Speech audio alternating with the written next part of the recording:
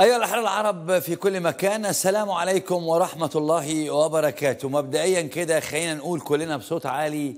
مبروك للسعودية فوز بطولي بهدفين مقابل هدف على أرجنتين ميسي الحقيقة بتتصدر كده السعودية مجموعتها دي الحقيقة مفاجأة أذهلتنا جميعا وفرحتنا بجد بجد المنتخب السعودي قدم مباراه ولا أروع وفاز ولأول مرة في تاريخ العرب كده نتفرج على آه، ماتش الحقيقة قتالي استطاع فيه الفريق السعودي أنه يقدم كورة وقتال ويقدم مستوى حلو جدا ويفوز على أرجنتين ميسي دي ما كانتش المفاجأة الوحيدة في النسخة دي من مونديال كأس العالم في قطر اللي ظهر فعلا زي ما كل الجرايد والمحللين الرياضيين قالوا عنه أنها النسخة الأكثر جدلا في تاريخ كرة القدم في كل تفاصيلها من تكلفة اللي تعدت أو تقريبا 200 مليار دولار في افتتاح جميل مبهر والهجوم عليها وأيضا على فكرة التقنيات اللي بتستخدم فيها سواء من الكاميرا اللي بيسموها السكاي كام أو التقنية الجديدة لضبط الأوفسايد في تقنيات حصلت في البطولة دي ما حصلتش قبل كده البطولة دي رغم كل حاجة ورغم كل اللي أنا قلته ده نقدر نقول ألف مبروك لقطر قطر اللي رفعت راس العرب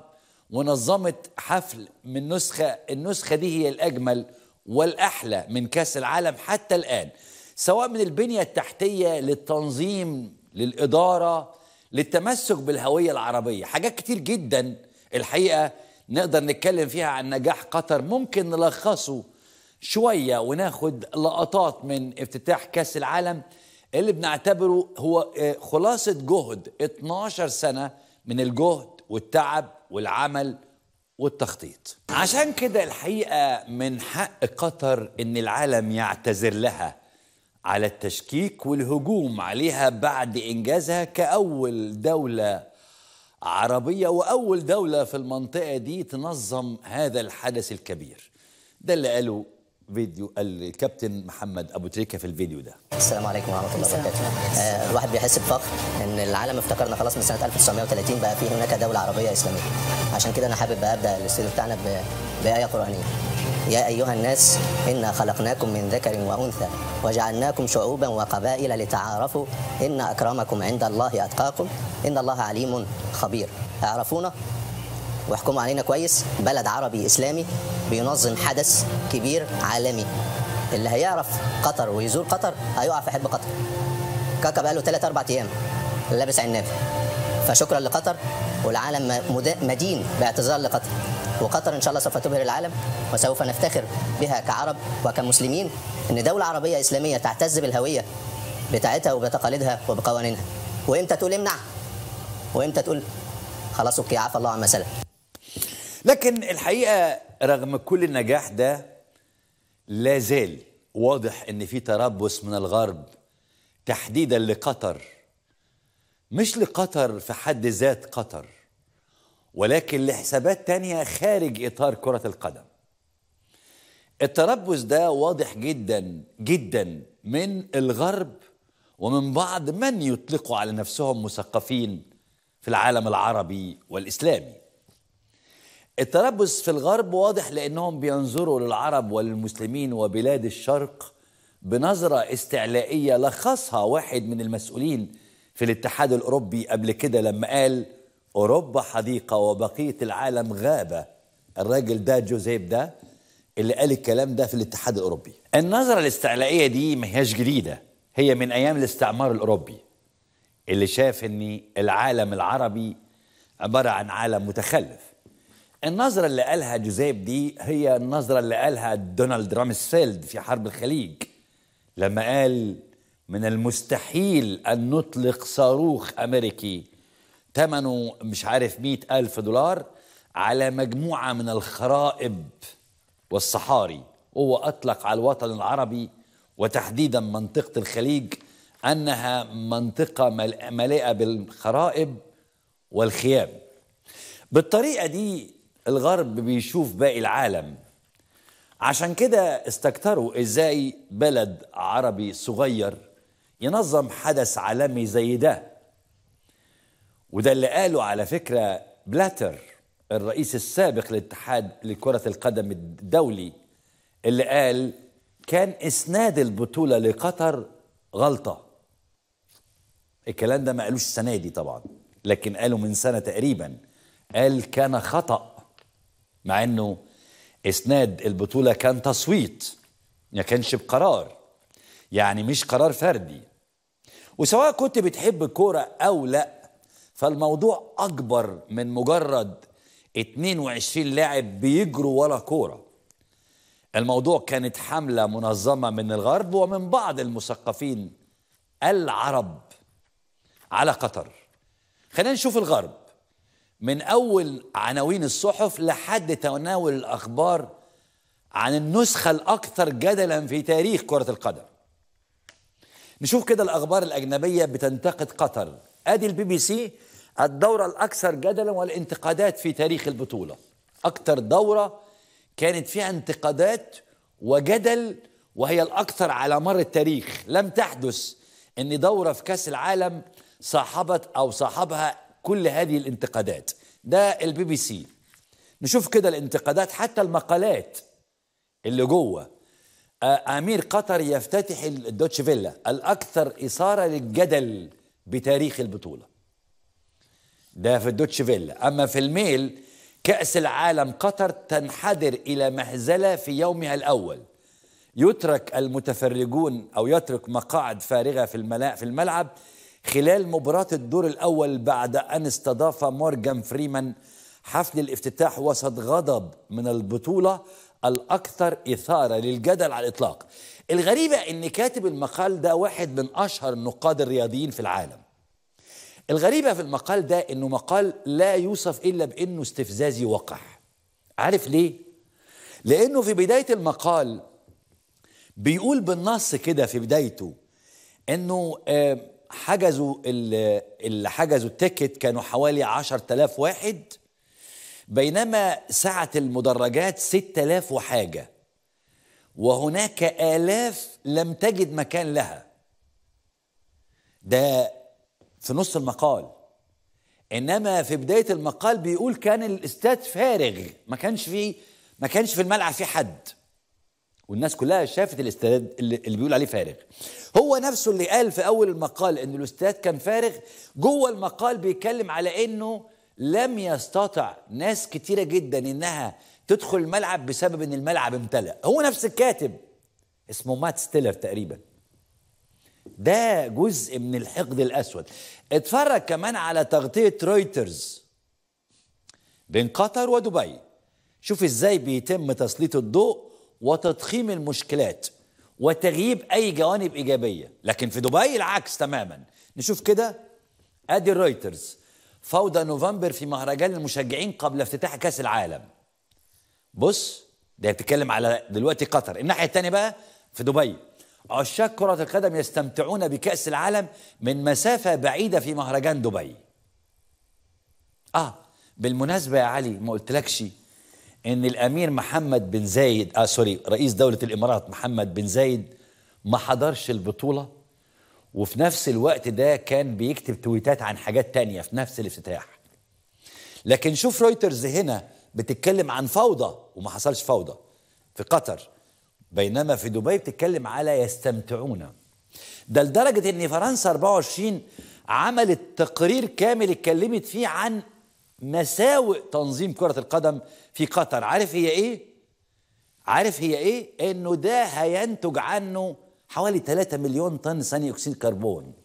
بالارقام مونديال قطر الاعلى تكلفه في تاريخ نهايات كاس العالم خش بقى جوه في التفاصيل هيقول لك بقى في التفاصيل ان من ضمن المساوئ بتاع الدوره دي انه هينتج 3.5 مليون طن تقريبا اهو تنتج تتسبب في انتاج ما يصل الى 3 آه، و600 مليون 600 ألف طن من ثاني أكسيد الكربون وفقا لتقرير صدر يعني يعني بجد يعني وإن في 6500 عامل ماتوا خلال 12 سنة تخيل فرنسا 24 بتقول إن من مساوئ الدورة دي إنها تنتج 3 مليون و600 ألف طن ثاني أكسيد كربون آه وان في 6500 عامل ماتوا اثناء العمل ولما تخش جوه جبتوا الرقم ده منين هيقول لك جبناها من الدول اللي مات العمال بتوعها اللي هم نيبال والدول بتاعت شرق اسيا يا راجل يعني ما عندهمش الرقم فراحوا البلاد جمعوا من نيبال وسريلانكا والفلبين جمعوا ارقام وصلت ل 6500 عامل وطلعوا لانه آه، آه، ديفيد بيكهام اتعين سفير لكاس العالم في الدوره دي فطلعوا يهاجموا ديفيد بيكهام ويتهموه بانه خد رشوه عشان يروح قطر او يروح الدوحه فعملوا عليه برنامج ساخر انه اخد رشوه فطلع ممثل بريطاني وهو بيمزق او بيقطع 10000 جنيه استرليني بسبب دور بيكهام كسفير لكاس العالم نشوف الفيديو ده كده اهو ممثل بريطاني يمزق 10000 جنيه استرليني بسبب دور بيكهام كسفير لمونديال قطر في برنامج كوميدي يعني مش بس كده ده مورجان فريمان الممثل اللي بيوصف في هوليود بأنه الوقور حتى مورجان فريمان بتاريخه الطويل ده لمجرد انه اشترك في حفل افتتاح اتعملت عليه حمله دي لمجرد بس ان مورجان فريمان اشترك بل انه وصف ايضا بانه تم استمالته وشراؤه خلينا نشوف حد كتب البوست ده رمزي عبد العزيز بيقول تكمله لمنشوري السابق عايزين تعرفوا قطر نجحت لحد فين اتفرجوا على منشتات ومقالات وبرامج الصحافة العالمية النهاردة وهي بتجلد الفنان العالمي مورجان فريمان على ظهوره لدقائق معدودة في افتتاح كاس العالم 22 لم يشفع تاريخه ولا الجوائز اللي حصل عليها من تهييج وإثارة الرأي العام ضده وإبراز الغضب العارم والرفض التام والإحباط وخيبة الأمل من قبل متابعيه ومحبيه لظهوره يتحاور مع شاب عربي مسلم لدقيقتين على خشبة المسرح حملة التشويه ويخليك تستشعر ان العالم كله كرهه وخرجت كلها في نفس التوقيت ونفس الهدف اتفرجوا اشهر جرائد العالم الغربي بتحشد الراي العام تجاه شخصيه بثقل مورجان فريمان لكنه غرد خارج الماتريكس فلا بد انه يتعاقب هيخلوا الراجل يعلن اسلامه عندا فيهم وراح جايب الصوره بتاعه مانشيتات الجرايد وهي بتهاجم مورجان فريمان لمجرد انه قرر انه يشترك في كاس العالم في الدوحه في الدوحه مورجان فريمان الممثل اللي بيوصف بانه وقور لكن يعني كده ديفيد بيكهام على مورجان فريمان اي حد هيشارك الدوحه في الحكايه دي فاحنا كده هيحط هيتحط فيه الاعداء وهيتعمل عليه حملات لكن الهجوم ما كانش عشوائي بالعكس كان هجوم منظم ومعتمد على محورين او على عده محاور اول محور عشان يطلعوا ان الموضوع فيه يعني ضد الانسانيه هو محور اكذوبه وفاه الاف العمال في بناء الاستادات والكلام عن 6500 عامل من سريلانكا ونيبال ماتوا آه، في آه، اثناء انشاء الاستادات وده غير الاضرار بالبيئه نشوف كده اهو كاس العالم كيف تعامل قطر العماله الوافده وجايبين الصوره شايف الصوره انهم بياكلوا اي كلام وكان العماله في الغرب ما شاء الله يعني فرانس بريس كامل اتكلمت عن العمال وقالت مونديال قطر 70 ساعة عمل في الأسبوع دون استراحة ولو ليوم واحد ده فرنسا 24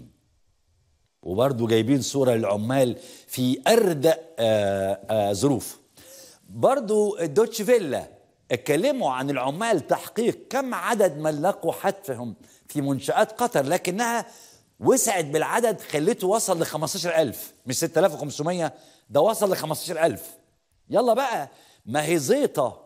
يعني ما احنا بنزيد بقى قالت لك وصلوا آه ل 15000 طب ما انتوا كنتوا كاتبينهم ان هم 6500 رغم ان عدد العمال اللي ماتوا رسميا بلسان رئيس الفيفا اللي هو الاتحاد الدولي لكره القدم اللي علق على تقرير وفاه عمال اجانب اثناء بناء الملاعب في كاس العالم في الدوحه او في قطر الراجل قال ارقام تانية اهو ثلاثه رئيس فيفا يعلق على تقارير اجانب اثناء قال ثلاثه اطلع بقى بالتفاصيل يا ريت لو عندك تفاصيل ده رئيس الاتحاد الدولي لكره القدم هم بقى ما بين الارقام قال لك 6500 وبعدين ناس تانية او جورنال تاني قال لك 15000 اهو اللي هي جياني ده وقال انه على آه، ظروف الاعمال الاجانب الذين يعملون في بناء ملاعب كاس العالم وقال وعندما ثلاثه واضاف ان ثلاث اشخاص لقوا حتفهم في اعمال البناء يا حضرات دي أول حاجة لكن ليه إيه السبب؟ إيه السبب الحقيقي اللي خلى العالم الغربي هايج كده على قطر مش بس كده انه ايه اللي خليهم يجيبوا سيره العمال و15000 ماتوا و6500 مش بس عشان هم عرب وعشان دول في الاخر خيام وصحراء ومتخلفين باعتبار انهم عرب لكن في سبب تاني الخمره الخمرة أو منع الكحول في محيط الملاعب الحكاية دي قلبت الدنيا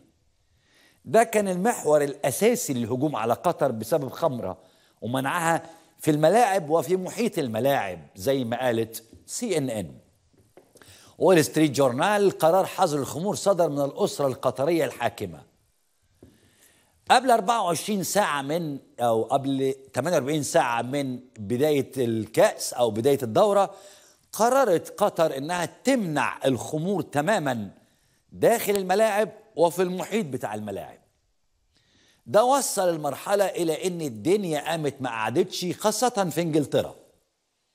سي إن إن بتقول إن جمعية مشجعي كرة القدم طالبت الكافيهات والبلديات في العالم إنهم يذيعوا ماتشات كأس العالم في الشاشات الكبيرة بسبب منع الكحول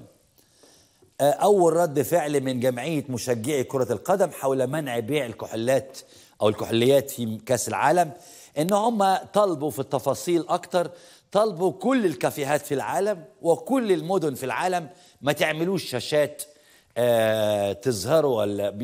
بعض المشجعين يحبون شرب البيره في المباريات والبعض لا يحب ذلك المشكله الحقيقيه في تحول اللحظات الاخيره والذي يظهر وجود مش مشكل اكبر وهي نتيجه قصور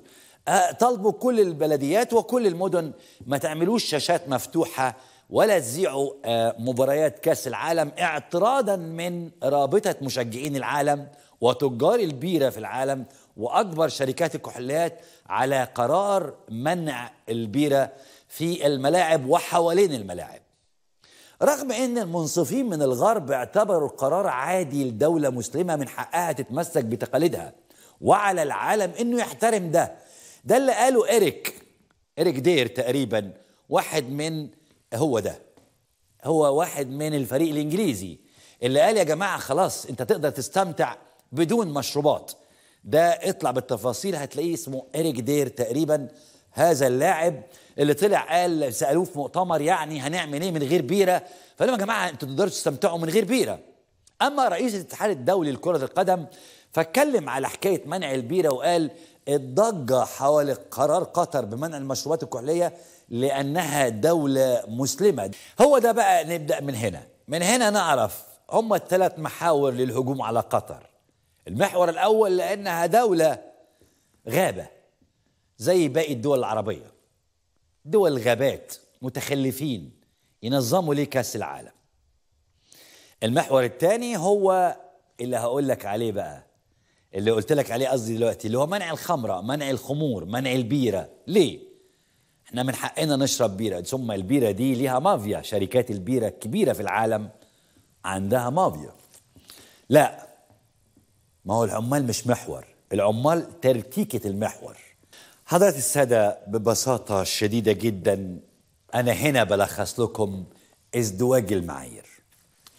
أولا النظرة إلى العرب النظرة الدونية النظرة الاستعمارية النظرة اللي بتلخص أنه ستظل الشرق شرق والغرب غرب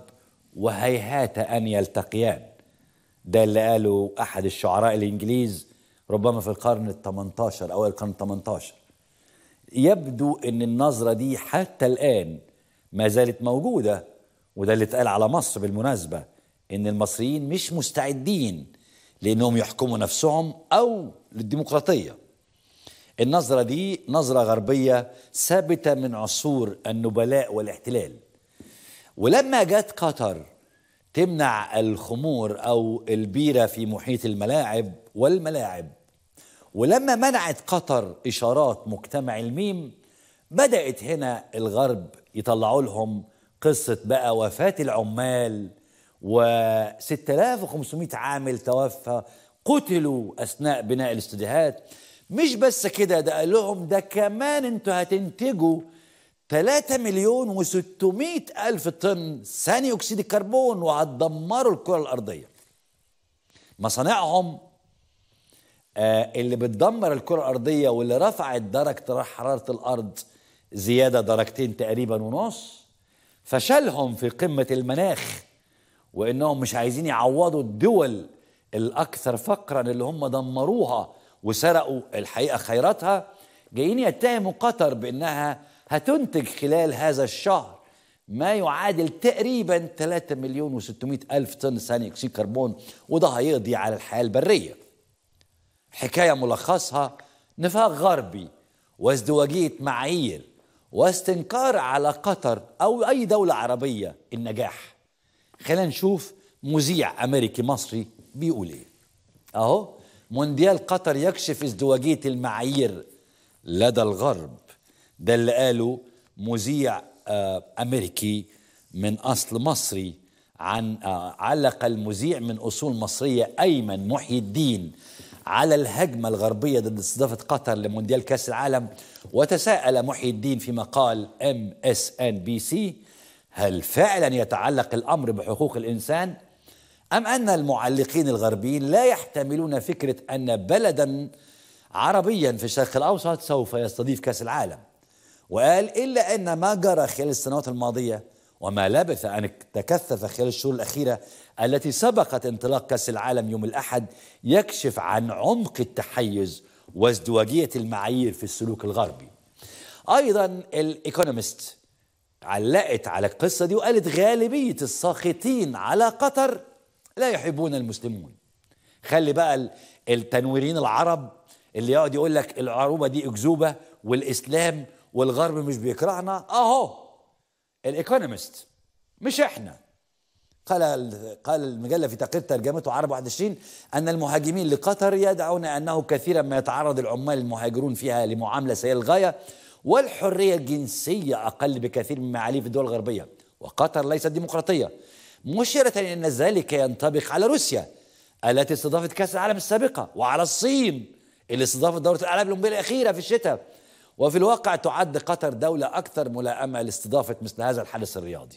يعني هو السؤال هو الراجل بيقول حيث يبدو أن الكثير من النقاد الساخطين لا يحبون ببساطة المسلمين أو الأغنياء الراجل عايز يقول ببساطه طب ما انتوا سكتوا على روسيا في 2018 اللي ما فيهاش حقوق انسان اصلا واللي هي ضد المجتمع الميم وسكتوا على تنظيم الصين للاولمبياد في الشتاء وانبهرتوا باللي عملته الصين رغم ان الصين حقوق الانسان فيها تعبانه وبرضه مجتمع الميم فيها تعبان إيه المشكله يعني كاتبه بريطانيه بتنتقد برضه ازدواجيه الغرب ونظرتهم لمونديال قطر وقالت له الكاتبه البريطانيه بتقول اهو الغرب ونظرتهم نطلع بالتفاصيل ارجوكم شويه في تقرير ترجمته عربي 21 بتقول كده على فكره وزعوا الشنطه دي هناك نوع من الحراسه الثقافيه التي تبرز هنا حيث ينظر الى الدول الاوروبيه ذات تراث كره القدم الاطول على انها اكثر شرعيه من الدول الناشئه الخليجيه التي لديها القليل من الارتباط التاريخي بالرياضه عدم حساب اخطاء الماضي يسمح لقطر بوضع نفسها كرمز للتقدم الدنيوي ويمنح الفرصة للمتشككين زي رئيس الفيفا للادعاء بأن البلاد تتعرض للتنمر هناك أيضا السؤال المحير حول ما الذي يشكل انتهاكا لحقوق الإنسان من الخطورة بحيث يستحق المقاطعة هل هو مثلا إدارة سجن كبير في الخارج موجود في فراغ قانوني حيث أنه على مدى السنوات العشرين الماضية تم إلقاء مئات السجناء دون محاكمة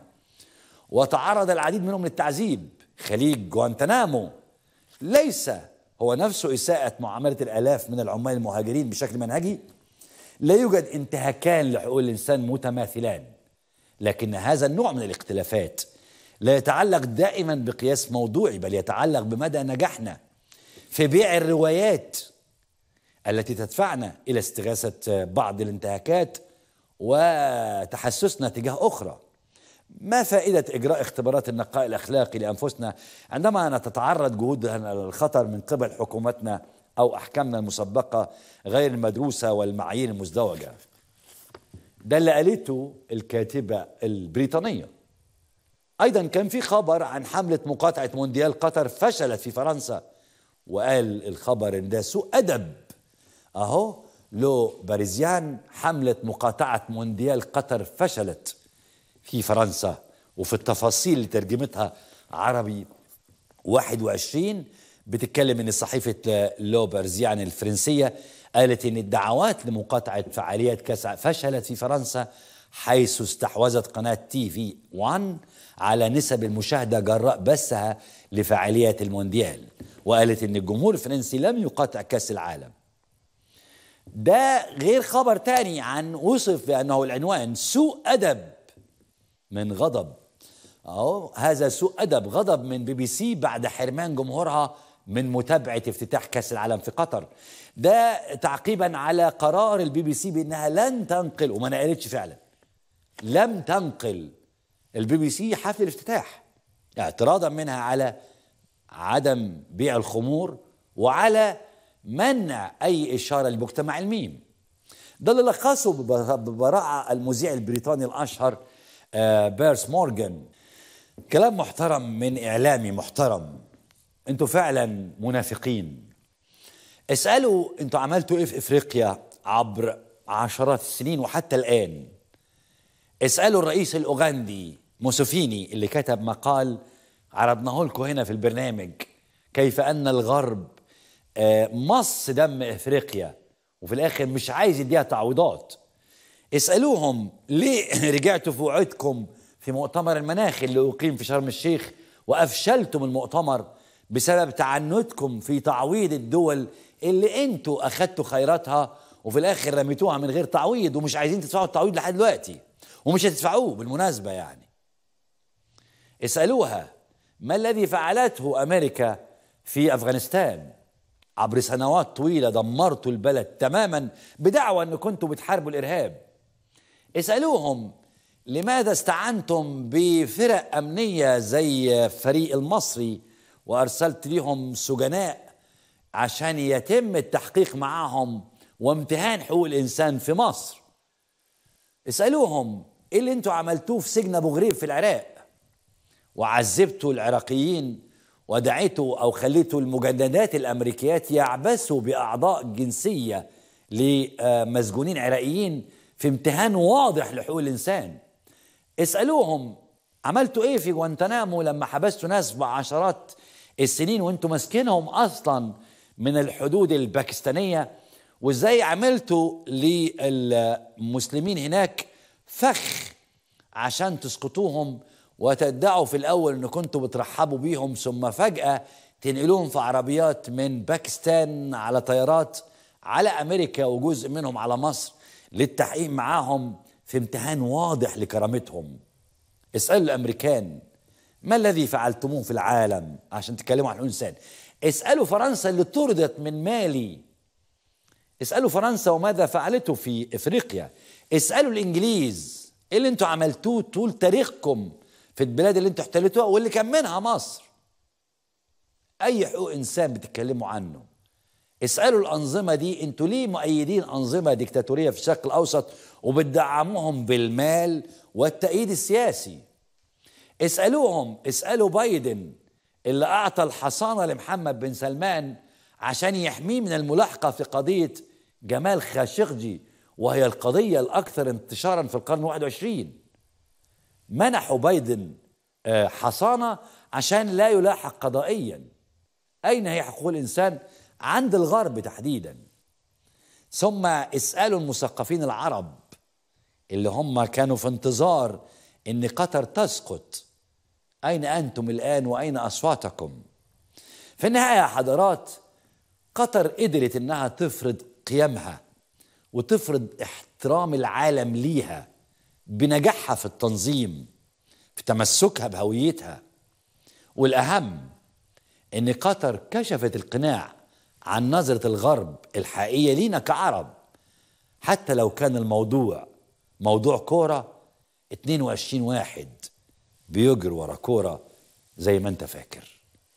أشوفك بعد الفاصل وده المحور الرابع اللي ما اتكلمناش عنه في بداية الحلقة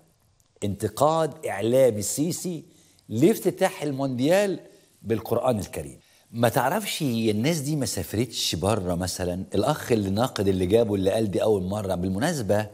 كان في حمله تبشير واسعه في آه، جنوب افريقيا لما استضافت جنوب افريقيا كاس العالم عملوا زي قطر كده جابوا أسسة ومبشرين يناقشوا الناس يعني هم حرين يعني آه بالمناسبة هو اللاعب أي لاعب وأغلبية اللاعبين في العالم مسيحيين وكل لاعب قبل ما بينزل الملعب بيعمل كده ويصلي لدرجة ان كان عندنا واحد صاحبنا بيلعب في البلد افتكر ان دي حاجة ليها علاقة بكرة القدم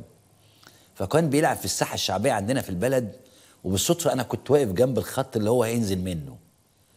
فاول ما نزل في التبديل على طول نزل الملعب عمل كده هو مسلم واحنا عارفين ان هو مسلم سواء يعني التقليد ده شافه في كاس العالم وفي الماتشات وهو مسلم هو ك... هو مسلم وكان تقريبا بيبيع بطاطس ولا حاجه بس كان لاعب كويس يعني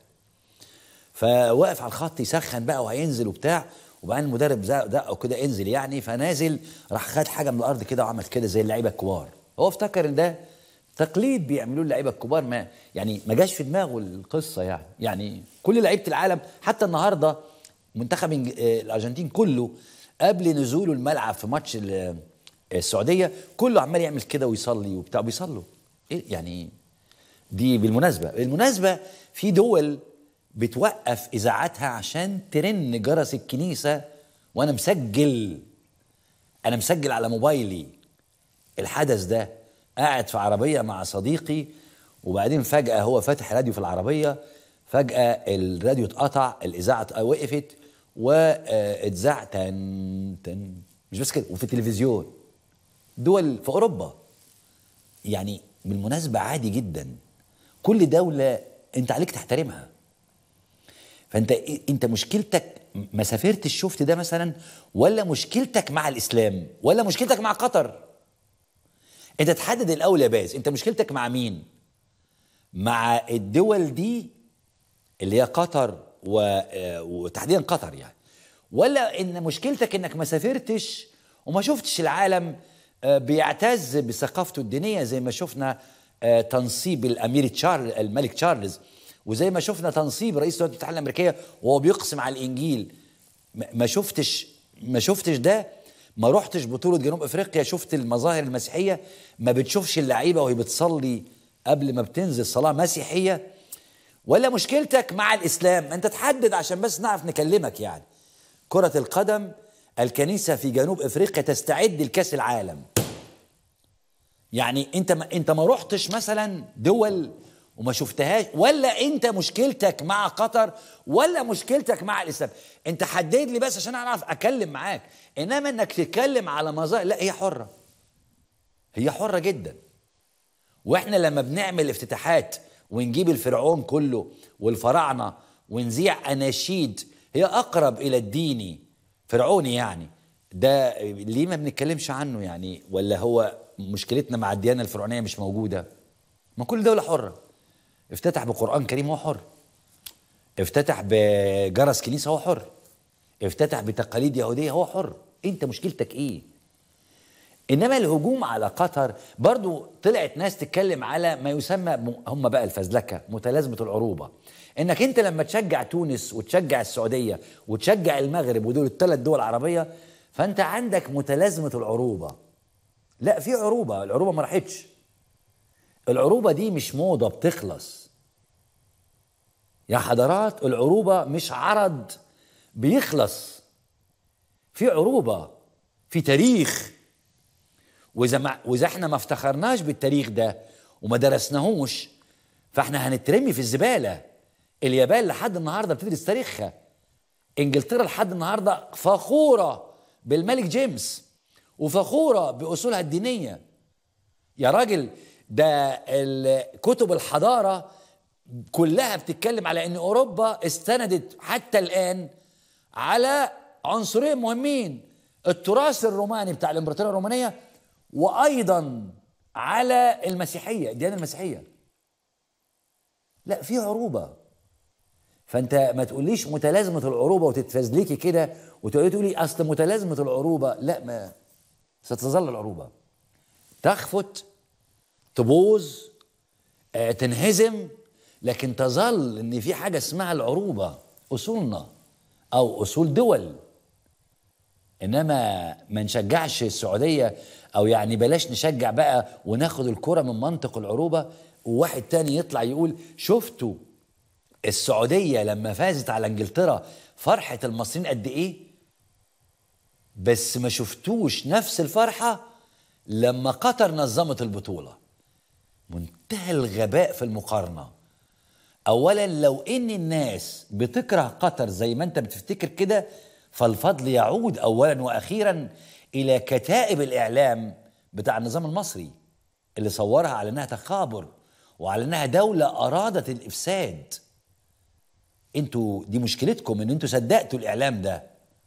لكن الحاجه التانيه من المستحيل انك انت تقارن آه، فوز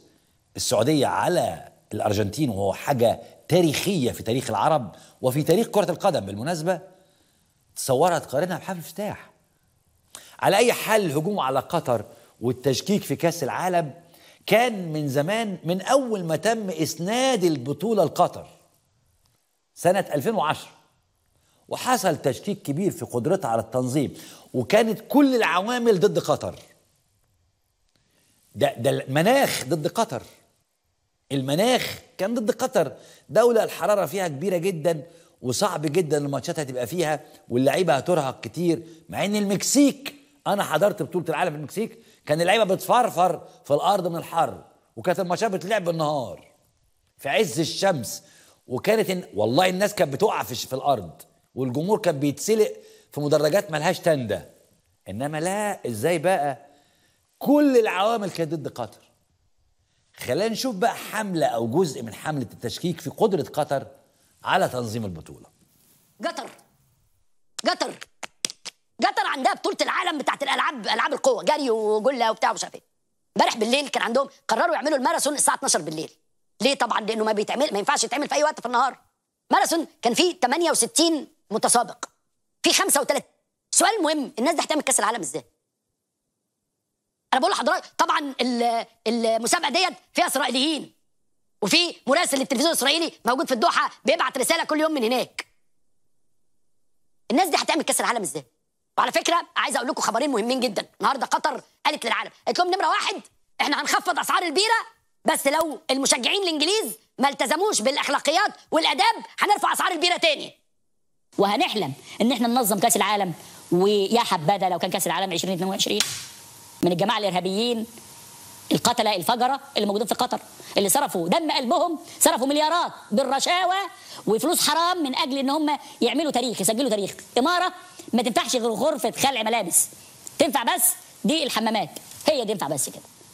الخارج تنظيم كاس العالم اي منطق اي عقل فين التاريخ فين الجغرافيا فين الطقس فين المناخ فين الاتساع فين فين فين كانت اكبر فضيحه فساد بتطول الاتحاد الدولي لكره القدم الفيفا وان شاء الله هنشوف الناس اللي في السجن كتير طبعا تم توقيف رئيس فرنسا السابق آه ساركوزي اللي اعطى تعليمات لميشيل بلاتيني وميشيل بلاتيني اعطى تعليمات للمناديب كله قبض كله خد فلوس والموضوع امام المحكمه الفرنسيه يعني لا يخجلوا ما بيخجلوش قال لك آآ آه، آآ آه، ساركوزي ادى تعليمات لبلاتر خد رشوه من قطر طيب ما هو بلاتر لسه موجود بره ما اتحبس فين ال... فين الرشوه دي مش بس كده ده قال لك آه، وهنشوف ناس في السجون لا ساركوزي دخل السجن بسبب قطر ولا بلاتر اللي موجود ده بلاتر طلع قال كان خطأ فين بقى ناش ولا يخجلوا يعني بص يقولوا الحاجات دي ولا يخجلوا ده وصل بيهم الامر قال لك ما فيش بطوله هتقام في قطر 22 مين بقى كده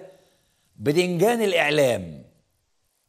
الفيفا انتهت الفيفا عايزين الامير علي بقى ايه رئيس لان هو بصراحه الامير علي ابن الحسين هو القادم رئيس هذه المملكه مملكه الفيفا آه، ننتظر الامير علي وبصراحه بصراحه الدول اللي هي ساندت بلاتر انا بقول اهو يعني مش عايز اعمل ايه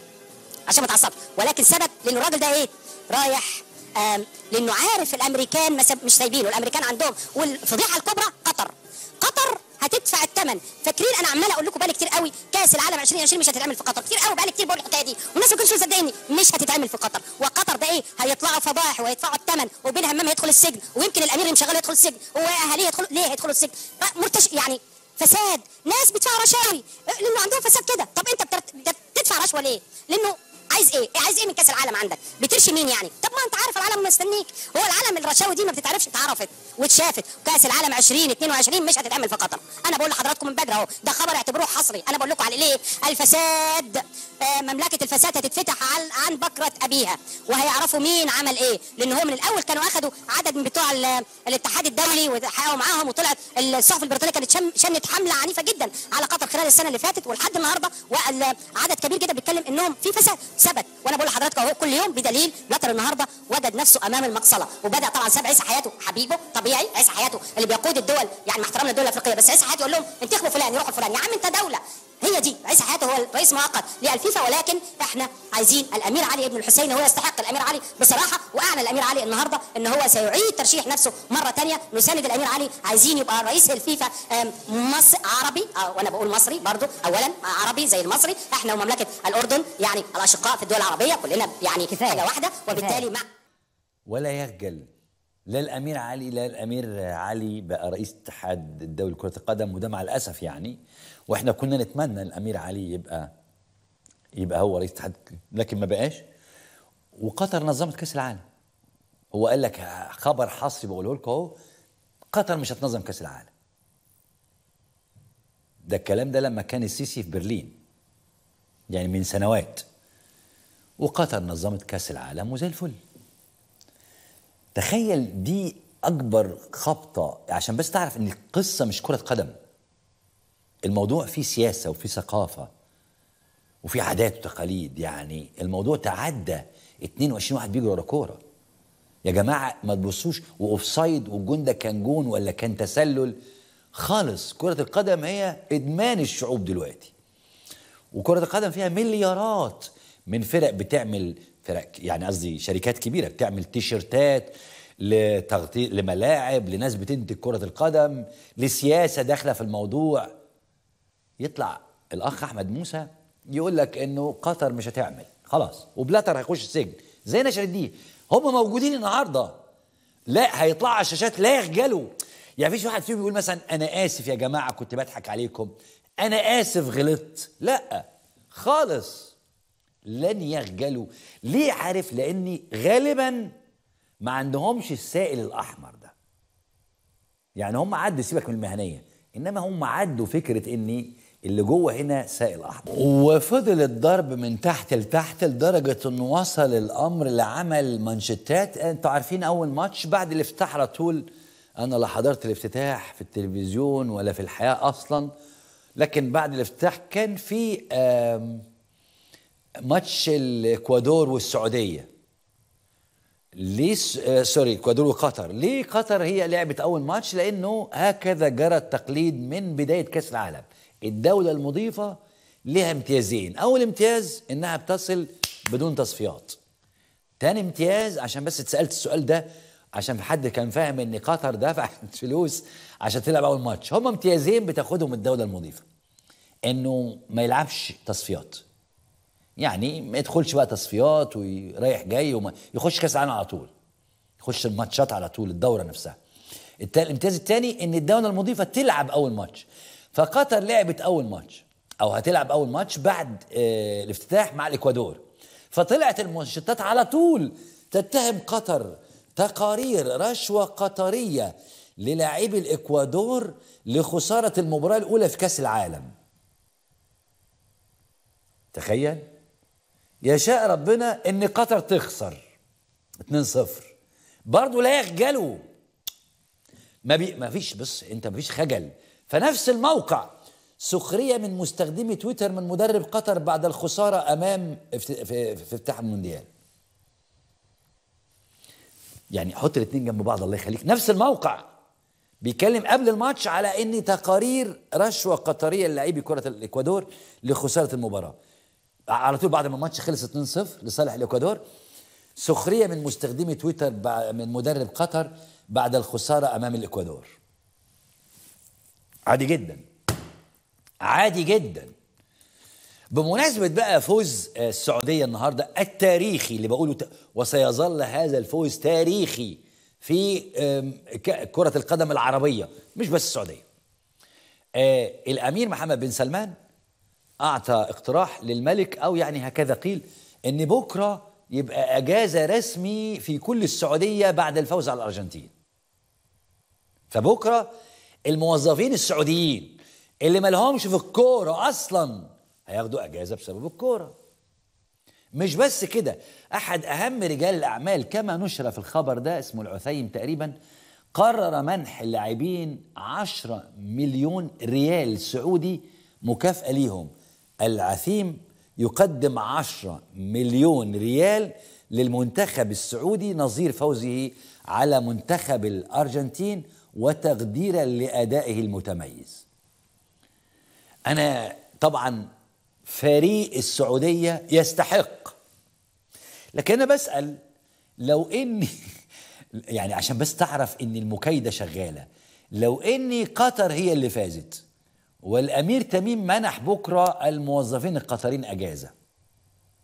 وطلع رجل اعمال قطري اداهم 10 مليون ريال قطري كنت هتسمع ايه بقى كنت هتسمع السفلات برضو لكن لانها طالعه المره دي من السعوديه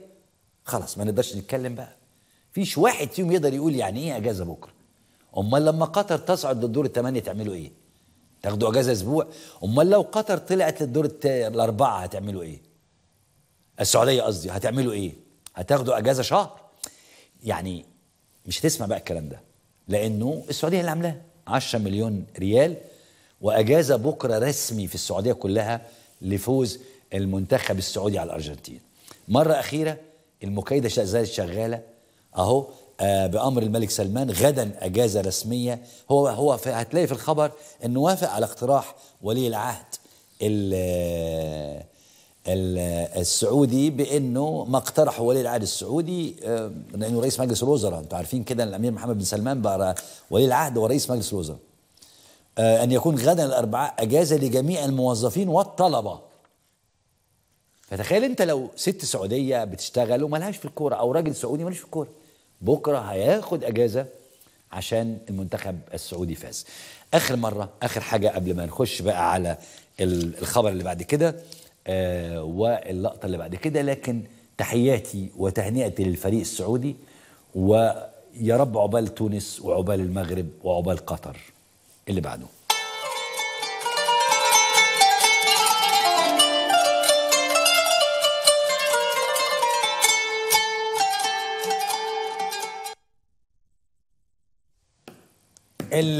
الصورة واحدة أشعلت الجدل في مونديال قطر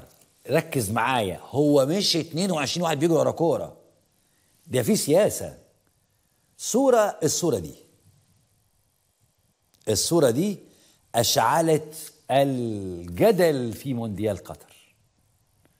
والصوره دي كان وراها قصص مختلفه هي لقاء آه، السيسي باردوغان والحوار بينهم الصوره دي لما نركز في الصوره كويس قوي هنلاقي آه، يعني انتوا تقدروا تتكلموا على الصوره براحتكم لكن شايف الراجل ابو نضاره اللي ورا القصير ده اللي لابس بدله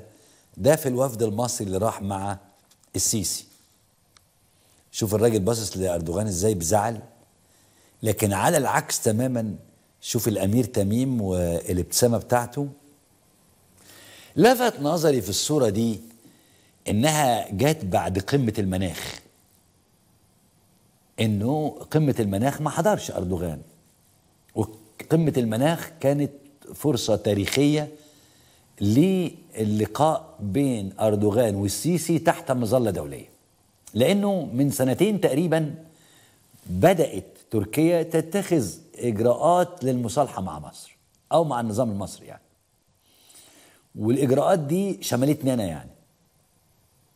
في سبيل المصالحة مع النظام المصري اتخذت إجراءات كثيرة جدا أحد هذه الإجراءات شملني أنا شخصيا وما عنديش مانع أوكي تمام إذا كان ده في صالح تركيا ومصر أوكي لكن قريب جدا كان في تصريحات مصرية منذ ما يقارب من شهر إن المفاوضات بين مصر وتركيا فشلت ده كان على لسان وزير الخارجية المصري سامح شكري توقف مسار المباحثات مع تركيا لعدم وجود تغيير في ممارستها مش مهم التفاصيل ده اللي أكده ضمنيا من أسبوع 17 نوفمبر بالظبط خرج الرئيس التركي رجب طيب أردوغان قال إن موضوع المصالحة هياخد إجراءات قوية لكن في شهر يونيو 17 نوفمبر يعني اثناء انعقاد قمه المناخ اللي جاء فيها بايدن وماكرون ورؤساء دول العالم طب اذا كنتوا انتوا هتاخدوا خطوه اتراك ليه ما حضرش الرئيس اردوغان اهو في 17 11 22 اردوغان يمكن اعاده النظر في العلاقات مع مصر وسوريا بعد انتخابات يونيو طيب الصورة كمان اللي هي بتاعت أردوغان والسيسي كشف تفاصيل عنها قناة العربية انه الدور القطري الامير تميم لعب دور كبير جدا في الوصول للصوره دي تفاصيل جديده تتكشف خلف مصافحه السيسي واردوغان فتحت المصافحه الاولى من نوعها انها بيقول لم لم تكن مصادفه قالت مصادر مصريه ان المصافحه بين السيسي واردوغان لم تكن مصادفه وان قطر سعت خلال الاونه الاخيره الى ترتيب العلاقات بين القاهره وانقره ووفق ما نقلته جريده الشرق الاوسط واضافت المصادر ان المصافحه ستعقبها خطوات دبلوماسيه وسياسيه على المستوى مش بس كده موقع سي ان ان برضه اتكلم عن المصافحه دي وقال ان دي خطوه اولى لاطلاق مسار جديد للعلاقات طيب الرئيس التركي على الطيارة وهو راجع من آه، الدوحة إلى أنقرة طلع تصريحات كانت فيها تفاؤل شديد جدا بل انه في احد التصريحات بيقال بالنص انه هيكون في تواصل ولقاءات رفيعه المستوى فانا قلت طلعت لايف على قناتي وقلت قبل التصريحات دي قبل ما تتنشر تصريحات الرئيس التركي الفيديو موجود على قناتي قلت بالظبط كده انتظروا إما أردوغان في القاهرة وإما السيسي في أنقرة قريبا ده أنا قلته قبل ما تتنشر تصريحات الرئيس رجب طيب أردوغان لكن أردوغان أهو بعد أول تواصل أردوغان يقول أن مصافحة السيسي خطوة نحو تطبيق لا على الطيارة قال انه بالنص كده على الطياره قال بالنص اللي بقوله ده ان هتكون في لقاءات رفيعه المستوى بيننا وبين آه، مصر ورفيعه المستوى مش المقصود بها وفود مخابراتيه ولا المقصود بها لقاء وزيرين خارجيين اللي اتقابلوا قبل كده بالمناسبه اتقابلوا قبل كده وزير خارجيه تركيا ووزير خارجيه المصري لكن انا بقول لك رفيعه المستوى دي اه اهو آه، آه، برافو عليك الدوتش فيلا سمت احتمال لعقد اجتماعات رفيعه المستوى مع مصر انا الكلام ده قبل ما ينشر هو نشر امتى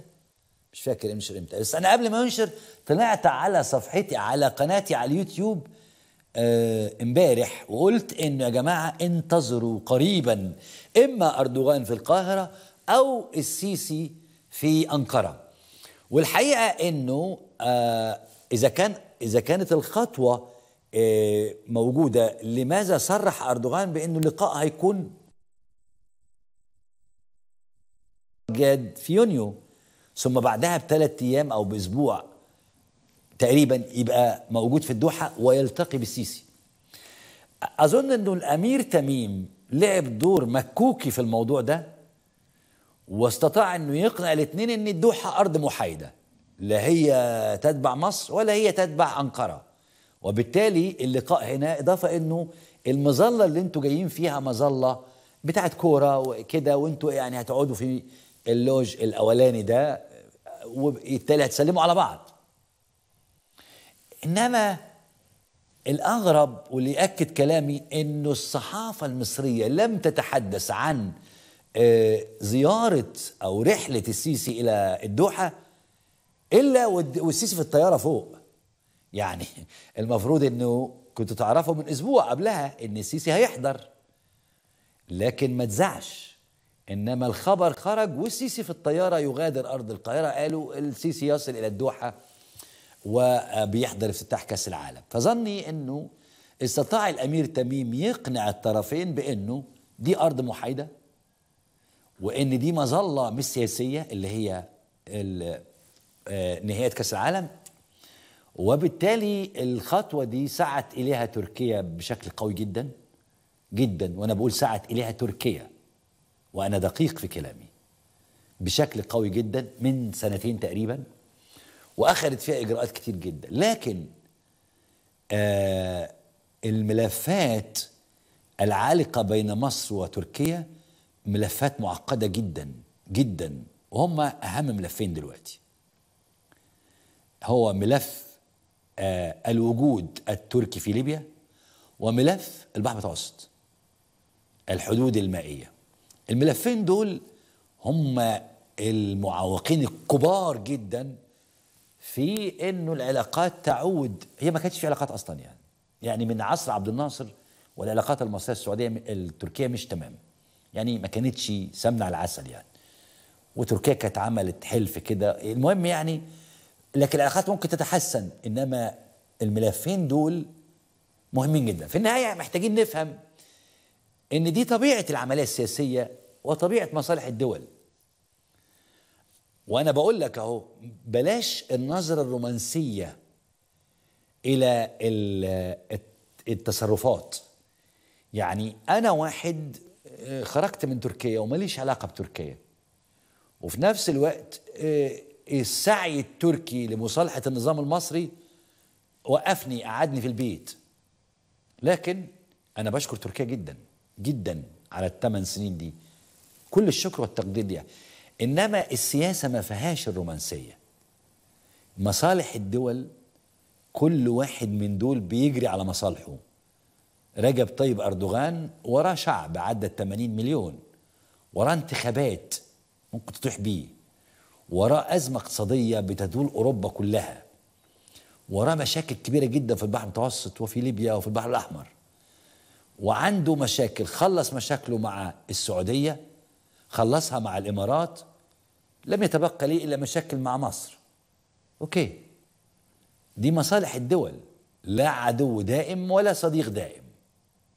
بلاش نتشعلق في تركيا واردوغان بان احنا ايتام وهو ابونا هو الراجل وراه شعب كبير جدا وراه ازمه وراه سياسه يعني ما نستبعدش ان احنا زي ما قلت نشوف السيسي في انقره أو أردوغان في القاهرة ما تستبعدش دي إطلاقا على الإطلاق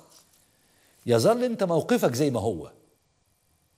يعني خلي موقفك زي ما هو أنا ضد هذا النظام المصري أردوغان صالحه بقى أردوغان ما صالحوش دي مش قصتي ولا أستطيع أني أطلب من أردوغان زيادة عن كده خالص هذا الرجل تحمل الكثير هذه الحكومة والنظام التركي تحملت الكثير عشاننا وأنا بره تركيا خلاص ياخد خط هو دفع ثمن كبير جدا في القصة دي فخلاص ياخد الخط اللي يراه هو في مصلحته علينا ان احنا ننضج في تصوراتنا وفي تخيلاتنا على اللي بيجري زي ما قال الكاتب علاء بيومي كتب الكلام ده وقال لقاء السيسي واردوغان مهم في إيضاح الطبيعة البراغماتية للسياسة وكيف أن العلاقات تتغير وفق المصالح والمهادنة شيء ضروري وامتلاك موازين القوة هو الأساس اطلع بقى شوية عشان أشوف أنا مش شايف ولعل ذلك في ذلك درس للجماهير والقوى الجماهيرية التي تحلق في المثاليات ولا تعرف إلا تعلية السقف والأفكار الخيالية رغم ضعفها الشديد وانا كنت بتكلم مع احد الاصدقاء يا اخي يا اخي صلاح الدين قعد يحارب ريتشارد قلب الاسد سنوات وفي الاخر قعدوا مع بعض صلح سنوات قعدوا مع بعض في الاخر صلح الفريق عبد الغني جمسي وهو واحد من اشرف القاده المصريين في الجيش المصري العظيم بعد ثلاث ساعات من الحرب كان قاعد في الخيمه 101 في الكيلو 101 في السويس مع اللي كانوا أعدائه من ساعتين بالبدلة العسكرية وقاعدين سلموا على بعض وقعدوا مع بعض يتفقوا على وقف إطلاق النار النظام المصري اللي عاد إسرائيل سنوات آه، السادات طلع مع آه، مع مناحم بيجن ومع الست اللي اسمها نسيت اسمها دلوقتي قعدوا مع بعض عادي جدا وضربت له مثل بروسيا في الحرب العالميه الثانيه كانت روسيا مع المانيا وايطاليا في اول الحرب وكانت انجلترا واقفه لوحدها وبتدك كل يوم والبرلمان الانجليزي بيقول للراجل اسمه ايه اللي كان اللي كان رئيس وزراء بريطانيا وقتها الثعلب ده اسمه يا جماعه حد يساعدني في الذاكره اسمه ايه الراجل رئيس وزراء بريطانيا اثناء الحرب العالميه الثانيه آه، ابو سجار ده الراجل ده وقف لوحده في البرلمان وقال لهم والله لو اتدكت لندن انا مكمل الحرب فجاه شرشل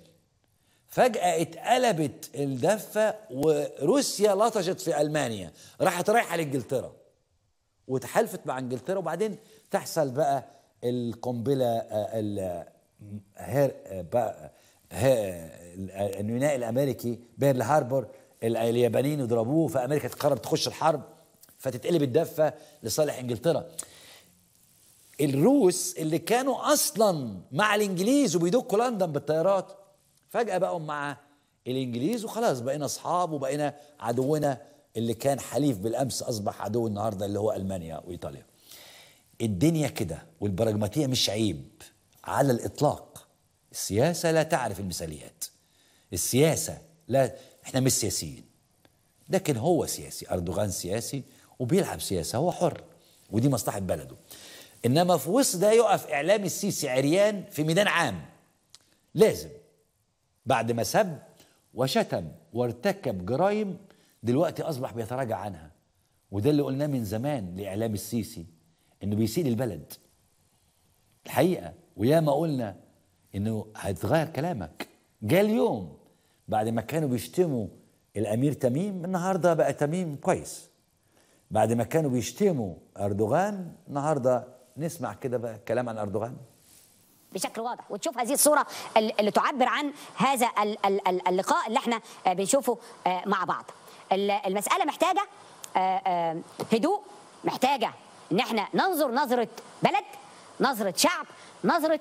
دولة أردوغان من البداية أعلن يا إما الإرهاب يا إما يعني الإرهاب اللي هو فايز السراج يعني يا إما حكومة الوفاق يا إما الإرهاب ينتشر في أوروبا ويهدد العالم شكرا للشيخ عصام والله بيفكرني بالاسماء كتب لي جولدا مائير كانت رئيس وزراء بريطا... آه، اسرائيل اثناء حرب اكتوبر ودي انتهت هي وديان بعد حرب اكتوبر وذكرني بقنبله هيروشيما لا انا كنت بتكلم على بيرل هاربور لما اليابانيين طلعوا وعملوا الهجمات الانتحاريه على القاعده الجويه الامريكيه ثم ضربتهم امريكا بال بحقوق الانسان ضربتهم بال... آه، النووي بالذري في هيروشيما وناجازاكي ثم دخلت الحرب بعد كده وذكرني بالرئيس وزراء بريطانيا في وقت الحرب اللي هو تشرشل مش بس كده ده عمرو أديب اللي قعد يقول سنوات انه آه، اردوغان اخوانجي اردوغان ارهابي اتغير تماما اسمع الراجل اللي اسمه اردوغان ده الراجل ده من الاخوان الارهابيين اخوانجي ارهابي هذا رجل لا يحترمنا هذا رجل هذا رجل يمول الإرهاب بالضرب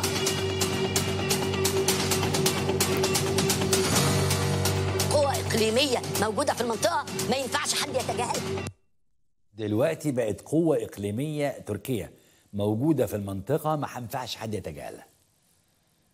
هو ده مشكلتك انك انت لما تبقى ماشي بلا دماغ ومسلم دماغك لواحد اهبل فتبقى رايح جاي هم دول الناس اللي شحنوك ضد تركيا وضد قطر سنوات سنوات انت استنى بس لما السيسي يقابل اردوغان والخطاب هيتغير تماما ومش بعيد نقعد نتكلم او نطلع اغاني لاردوغان هي دي مشكله الناس اللي ما عندهاش موقف هي يعني اربط الحمار مطرح ما يعوز صاحبه ودول الحمار صاحبه ربطه هنا او قاعد ربطه هنا او قاعد لكن دول ما يعرفوش اصلا لا مهنيه ولا يعرفوا حتى شرف وده اللي وده وده مشكله النظام المصري انه حرض الناس سنوات تجاه قطر والنهارده بيدفع الثمن وشكلهم بقى وحش جدا تجاه تركيا يا رب بقى ينجحوا على راي الكاتب سليم عزوز يا رب تنجح بقى خلاص ما عندكش اعداء اهو انت قعدت تقول مش هصالح تركيا اديك صالحتهم صالحوا بعض يلا بقى انجح بقى ما عادش عدو لا تركيا عدو ولا قطر عدو وانا كنت امين وقلت تركيا اللي سعت الى المصالحه وانت قعدت تقول مش هصالح النهارده بمجهود الامير تميم خلاص بقيته تمام هننتظر بقى الصوره زياره رسميه لاردوغان في القاهره او للسيسي في انقره يعني ما عادش عندك اعداء نشوف بقى نجاحك بقى بالله عليك نشوف لك بقى حاجه حلوه كده تبل الريق نشوف حاجه خلاص وارفع بقى التهم تخابر مع قطر آه محمد ناصر بيشتغل مع المخابرات التركيه والكلام بقى الفارغ اللي انتوا بتقولوه ده خلاص كفايه بقى يعني شوفوا حل سليم عزوز كاتب كلمتين والله فيهم الشفاء والله قعدت اقراهم كده قلت فعلا عندك حق يا استاذ سليم انجح بقى لله انجح نشوف بقى سليم عزوز كاتب له ايه بيقول لك جالك بايدن ورجله فوق رقبته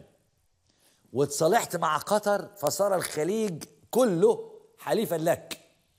وفرحة أردوغان بأنك صافحته تفوق فرحته باستمرار أردوغان في الحكم والغرب كله معاك أجمع عليك بوتين وأعداء بوتين وفكك من الإخوان فهم نائمون في الخط من سبع سنين والدليل انك لم تطلب اغلاق قنواتهم وطن ولم تطلب تسليم زعيمهم الاول على مدى السنوات العشر الدكتور محمود حسين وهو امر كاشف انه لا خطر منه ولا منهم اطلع بس سطر عشان اقرا بتاعنا وانا اطلع سطر واحد الله يكرمك وانا اعتزلت عندي حاجه في ايدي اتاخرت ولا بد ان انتهي منها وان كان على المقالات الاسبوعيه الثلاثه فسوف اتحاشى نقدك ما استطعت وعموما هي تنشر في مواقع محجوبه في مصر والاعلام كله في الداخل في ايدك والأحزاب شرحوا فلا صوت يعلو فوق صوت المعركة والحال كذلك ممكن لو سمحت لو سمحت لو سمحت ثالث مرة من فضلك تنجح لوجه الله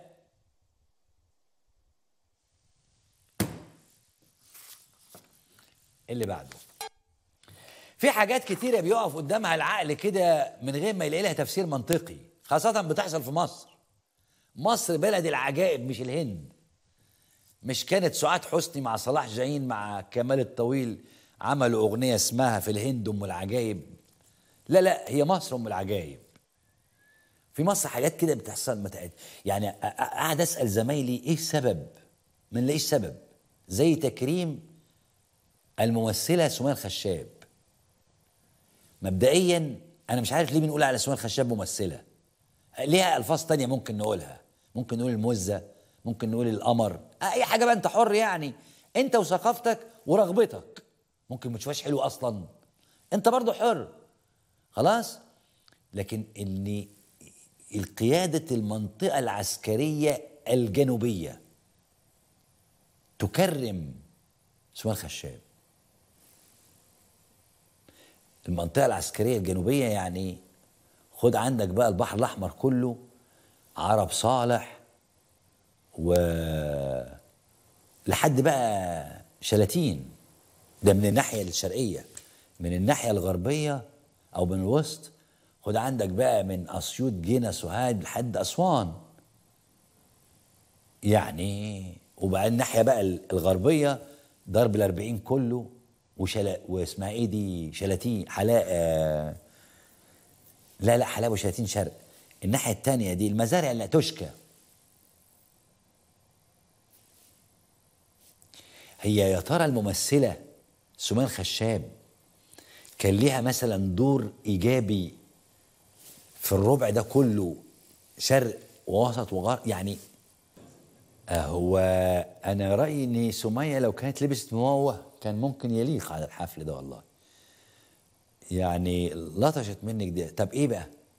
سالت زمايلي سالت الاطباء ايه السبب ايه السبب المنطقه الجنوبيه اللي عندها منطقه نزاع حدودي شلاتين وحلايب المنطقه الجنوبيه دي انا لما رحت البحر الاحمر انت و... يا بص انت هتعدي الغردقه بس وقبل ما توصل مرسى علم تلاقي انت كانك داخل دوله تانية واسلحه ومدرعات وجيش واقف التصاريح التصاريح وبعدين توصل بعد مرسى علم بحوالي 300 كيلو البلد اللي كان يقول لك هينفوك يودوك بلد جميله قوي بس نسيت اسمها دلوقتي آه، برضه تلاقي عساكر وجيش عدي بقى دي وانت رايح عرب صالح بقى لا دوله ثالثه خلاص خلاص خلاص عديت انت عرب صالح قبل ما تخش شلاتين يا سنه سوخه ايه يا جدعان في ايه مش دي مصر وعادي اتفسح فيها لا انت لازم تصريح بالقوات المسلحه منين من المنطقه الجنوبيه ولما دخلت شلاتين انت تتكلم في مئات الكيلومترات يعني لما دخلت شلاتين وماشيين انا والراجل اللي معايا زميلي واحنا رايحين نعمل عمل بيئي هناك يعني وبالامم المتحده سوري بالمعونه الامريكيه يعني جايين مع مشروع المعونه الامريكيه يعني مش جايين كده من نفسنا مش سياح يعني تلاقي ناس كده وهوب يجي لك واحد بلاسلكي ممكن تفضلوا معانا يا جدعان في دي بلد واحنا تصدق معاك فين عند رئيس مجلس المدينه لواء لواء تاريخ عسكري انتوا جايين هنا ليه بقى يا جدعان احنا جايين مع المعونه الامريكيه نعمل مشروع بيئي هنا اه بس كان لازم تستاذنوا طب ما احنا واخدين تصاريح منكم من المنطقه الجنوبيه يا راجل فين التصريح اهو يا جدعان دي مش مصر دي ولا انا احنا معانا باسبورات مصري ما تفهمش النهارده او امبارح تتكرم تكريم سميه الخشاب من قيادات المنطقه الجنوبيه العسكريه ليه ليه سمسم قسما بالله العظيم سألت زمايلي ليه أعلنت الفنانة سمية الخشاب عن تكريمها من قيادات المنطقة الجنوبية العسكرية وذلك من خلال منشورات على ليه طيب عملت ايه انا لحد دلوقتي انا مش ضد هي كتبت على حسابها كل الشكر والتقدير لقيادات المنطقة الغربية العسكرية على التكريم الرائع تسلم يا جيش بلادي أيوة ليه ما أنا عايز أفهم سواء ترند ومؤشرات البحث جوه ذلك بسبب اعلنت عن تقديم عمل مسرحي جديد تناول قصه حياه الراقصه الشهيره بديعه مصابني ويحمل اسم كازينو بديعه الله طب وهل الجيش له علاقه ببديعه مصابني انا اعرف انا اعرف انا آه، اعرف ساميه جمال اشتغلت عند بديعه مصابني كازينو بديعه ده كان بعد كوبري الجلاء مكانه دلوقتي شيراتون الجزيره قصاده قصاده آه، اللي هو عند مدرسه الأورمان كده عند مجلس الدوله قصاده الشقه اللي كان ساكن فيها كمال الشناوي يعني وطلعت فريد الأطرش طلعت محمد فوزي طلعت حسن الإمام كل دول خريجين كازن وبديعة وبديعة دي من لبنان أصلا إيه إنك هتعملي وهي أكاديمية يعني دي كانت كل الفنانين اللي قلتهم دول طالعين من عند بديعه حسن الامام كان بيكتب عندها فريد الاطرش غنى عندها آه، محمد فوزي جه من طنطا وسكن في شارع باب البحر ده وراح اشتغل عندها مغني ساميه جمال اللي اسمها في الاصل زينب من بني سويف هربت من اهلها وراحت لبديعه بديعه ودتها على مدرب رقص وتتعلم باليه كمان يعني انت تك... ايه علاقه ده بقى اللي انا بقوله بقيادة المنطقة الجنوبية مش شايف إيه-, ايه الا اذا كان المنطقة الجنوبية كانت بتصرف على بديعة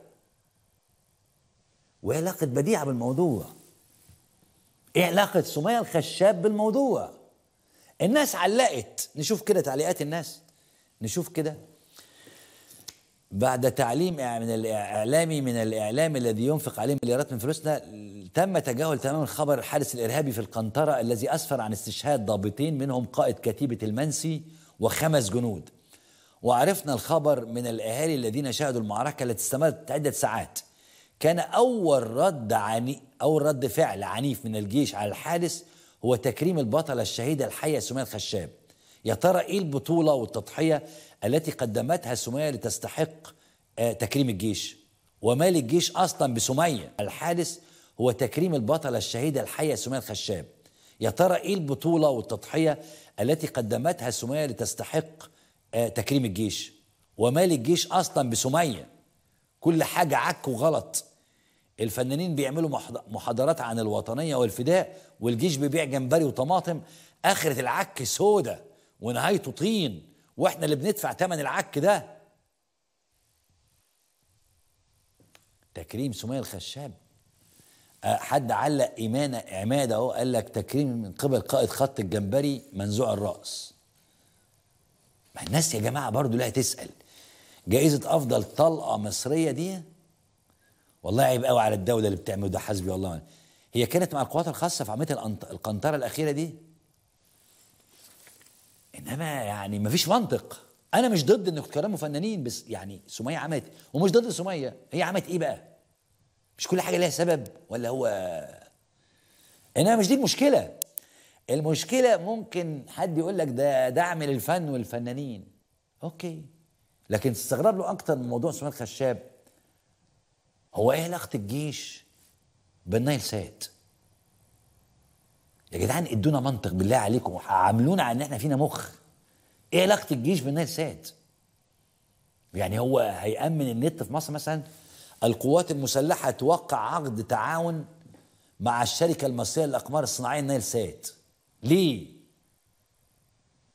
وبعدين يا جماعة انتوا مش قلتوا الجيش هيطلع من الاقتصاد أصلا؟ مش قلتوا الجيش هيطلع ويسيب الناس تشتغل وتتنفس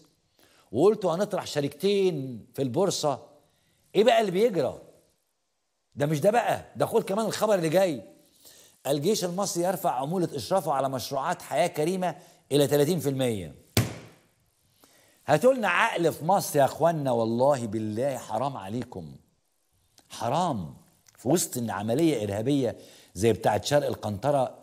معركه استمرت خمس ساعات اودت بحياه قائد كتيبه قائد كتيبه يعني حد حد مهم قائد كتيبه زمايله في نفس التوقيت بيكرموا سمو الخشاب على ايه ما تفهمش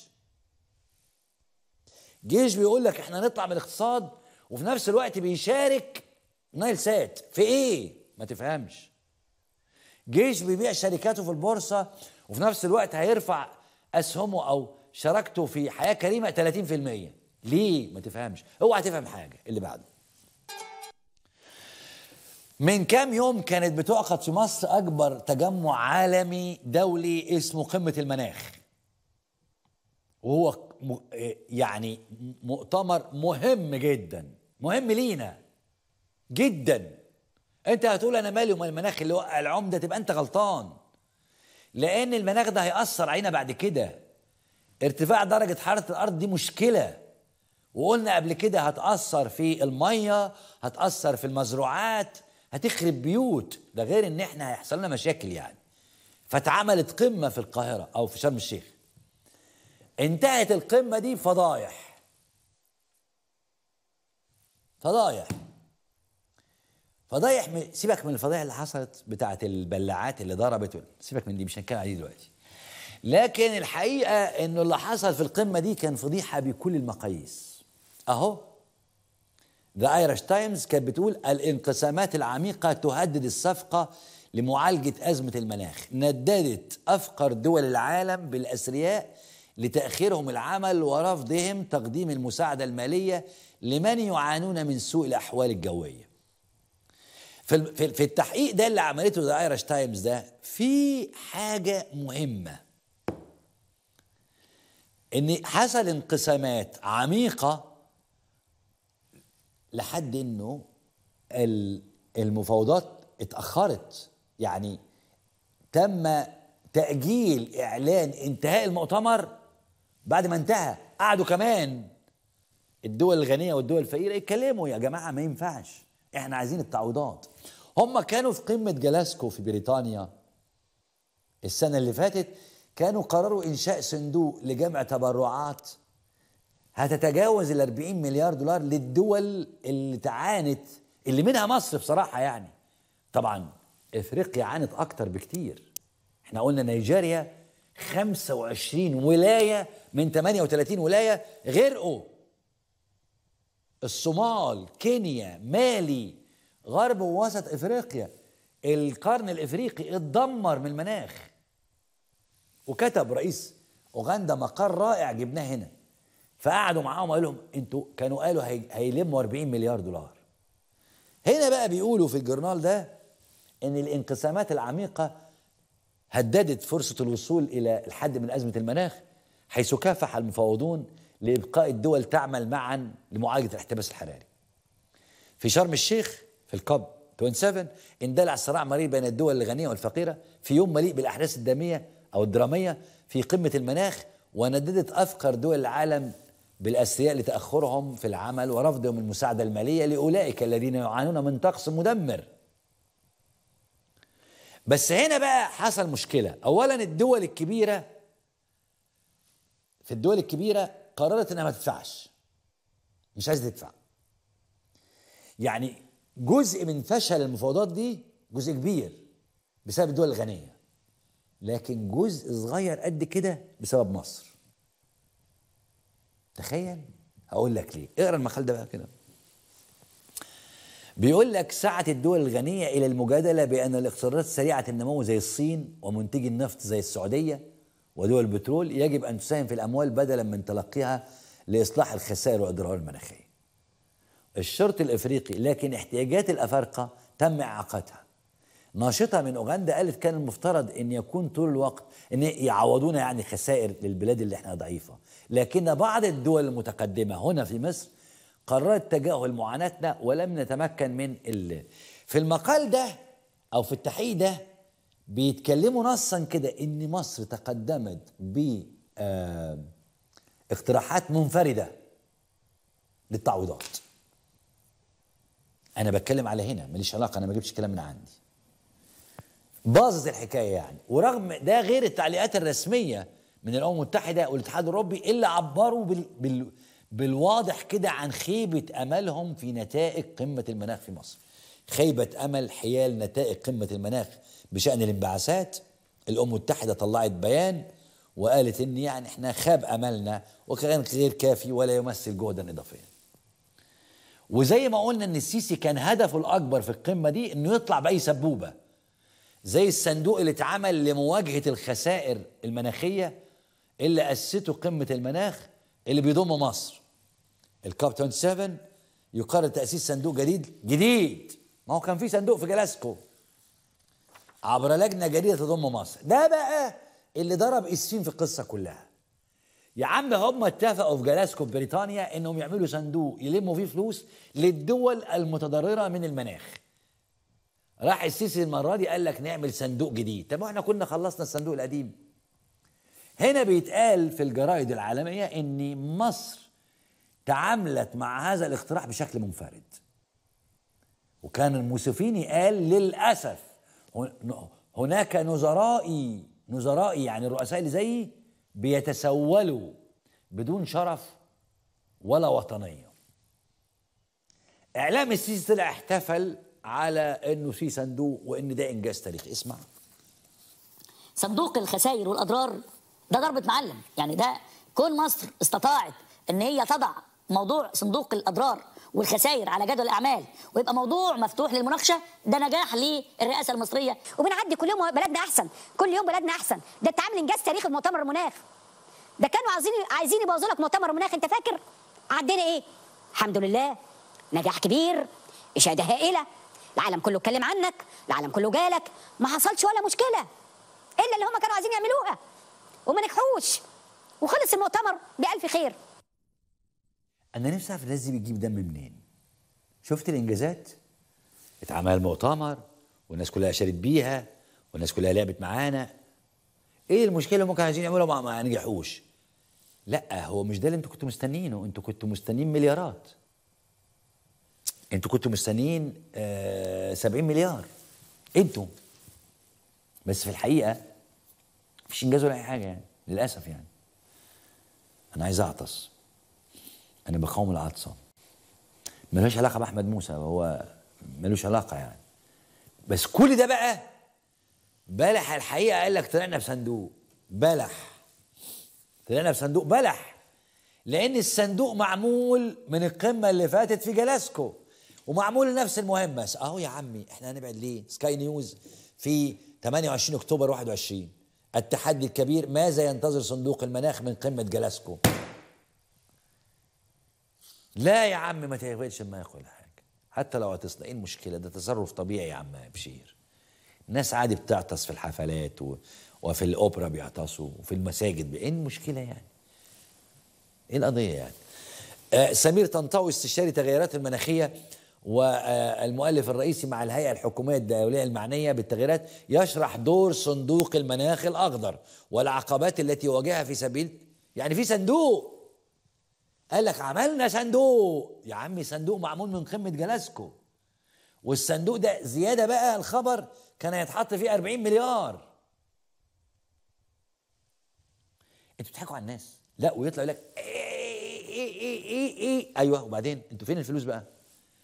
حسستوا الناس المصريين ان هيجي لنا 40 مليار وهنحط في جيوبنا المشكله مش مصر المشكله افريقيا متدمره بقول لك نيجيريا 25 ولايه غرقت من السيول بقول لك القرن الافريقي المجاعات والجفاف فيه رهيبه بقول لك غرب افريقيا متدمر وانت جاي تقول لي آه، عملنا صندوق ونجحنا في الصندوق وطلعنا من الصندوق ودخلنا الصندوق دي انجازات ولا مش انجازات ايه ويعمل لك كده انا ما اعرفش الراجل ده ازاي بيقابل اصحابه ده عامل زي صاحب اسمه ايه المغني بتاع اسكندريه ده حمو بيكا حمو بيكا واقف مع عمر كمال والمصحف عمر كمال بيقول له انت بتطلع قد ايه 45 دقيقه قال له مفيش الكلام ده حمو بيكا قال له مفيش الكلام ده فعمر كمال قال له ما انت بتطلع تغني قد ايه قال له ساعه الا ربع فعمر كمال قال له ما هي الساعه الا ربع هي 45 دقيقه قال لا مفيش الكلام ده خالص هي ساعه الا ربع فعمر كمال قال له ايوه ما هي 45 دقيقه ساعه هو الساعه كام؟ قال له ماليش ايه ما اعرفوش هو ساعه الا ربع مش المشكله بقى يعني مش المشكله ان عمر كمال بيقول له بيحاول يفهم حمو بيكا ان الساعه الا ربع هي هي 45 دقيقه مش دي مشكله المشكله صاحب حمو بيكا قاعد يقول له اه يا عم مالكش على الناس دي احمد موسى عامل كده بقى عامل زي صاحب حمو بيكا يا عم اهدى شويه صاحبك غلطان يقول لك بص بص عملنا المؤتمر ودخلنا ونجح وكانوا عايزين يفشلوه طب وبعدين فين بقى المؤتمر فشل فشل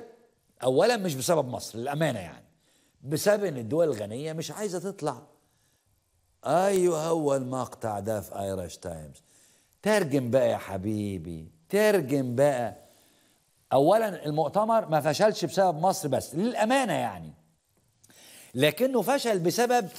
تراجع الدول الغنية وأنا قلت الكلام والمصحف قلت الكلام ده قلت لهم مشكلة السيسي إنه فاهم إن دي على طريقة عباس والسيسي مع بعض يا عم الفلوس عندهم زي الرز يدفعوا لنا 40 مليار هو هو كده كده بيبص الناس كده يا عم دي دول بتحكمها اسمها ايه دي انتخابات وجهات رقابيه ومش كده مش عبي وبتاع لا وما دفعوش حاجه مش عايزين يدفعوا اول حاجه مشكله ان الدول الغنيه مش عايزه تدفع تاني بقى مشكله سببها السيسي انه قدم اه اقتراحات على فرديه يعني مع نفسه كده راح اوكي عايزين احنا نسيبك من افريقيا عايزين يا عم 45 50 مليون ولا حاجه اهو مضايقات واستجابات الرقابه الامم الامم المتحده تنتقد ترهيب مصر سيبك هي تحولت لكده اتحولت لقمه حقوقيين هم تحولت لكده وانا ظني واغلب الظن اثم او بعضه يعني اغلبه كويس انا ظني انه حكايه علاء عبد الفتاح هاصت في قمه المناخ انا ظني انه جزء منها حقيقي بس جزء منها ان الدول الاوروبيه كانت عايزه تخلع من قصه التعويضات دي يعني كانت محتاجه تهرب من مسؤوليتها تجاه الدول الافريقيه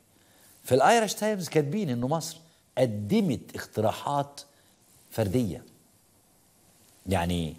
دخلت مع الدول الغنيه كده قالت لهم يعني عايزين احنا ال... احنا اولى بالترلملم ده اهو هي كاتبه كده ال ال ال, دي الايرش تايمز كاتبه كده بالنص يا عم انا ماليش علاقه بتقول تعرض المضيفون المصريون لانتقادات شديده حول اساليبهم في التوسط في صفقه من خلال عرض مسودات النص النهائي على بلدان مختاره بشكل فردي بدلا من السماح لهم بالعمل معا مما وصفه أحد المندوبين المخضرمين بأنه غير شفاف ولا يمكن التنبؤ به وفوضوي أنا قلت الكلام ده قبل كده الدول اللي جاية دي مش هتديك لله ودي دول استعمارية أصلا والفلوس مش عندهم زي الرز كده يعبي عبي وخد شيل مين اللي يقدر يعمل كده فرنسا ده الرئيس الفرنسي لسه مسكوع قلم من واحده ست في المظاهره حياه ربنا ما خده حرامي من مغبر يا راجل حرام عليك ده ده لو ممسوك بجزمه في مسجد بيسرق جزمه ما كانش اتعمل في ماكرون اتعمل فيه الاسبوع اللي فات ده خد قلم الست اتعافت عليه وناولت له قلم انا متهيألي نص اسنان ماكرون كانت على الارض والله العظيم اتحاول بعدها ثلاث دقايق دي دول يا عمي آه تشارلز لسه مضروب ببيض في وهو ماشي في الشارع اهو لا هو ده الفيديو هو ده للست ولا بتاع الواد طب نشوفه كده مع بعض شوف الست اتعافت عليه معافاه وراحت واخداه بص هو داخل لا لا ده بتاع الولد يا علي قلت لك لا يا علي انت علي الله يخليك انا شفت الزاويه لا لا انا لو قلت الكلام اللي انت قلته ده يفتكروك متخلف عقليا قال لك اصل مربي شعره افتكرت ست عم الناس عامله ضفاير في الشوارع لا لا في قلم تاني خده ده قلم الواد ده ما خدش فيه ثلاث ساعات واتخرج لا في قلم خده من ست حقيقه الست عافت عليه جابته قلم لولا الحرس كان زمانه طار 3 متر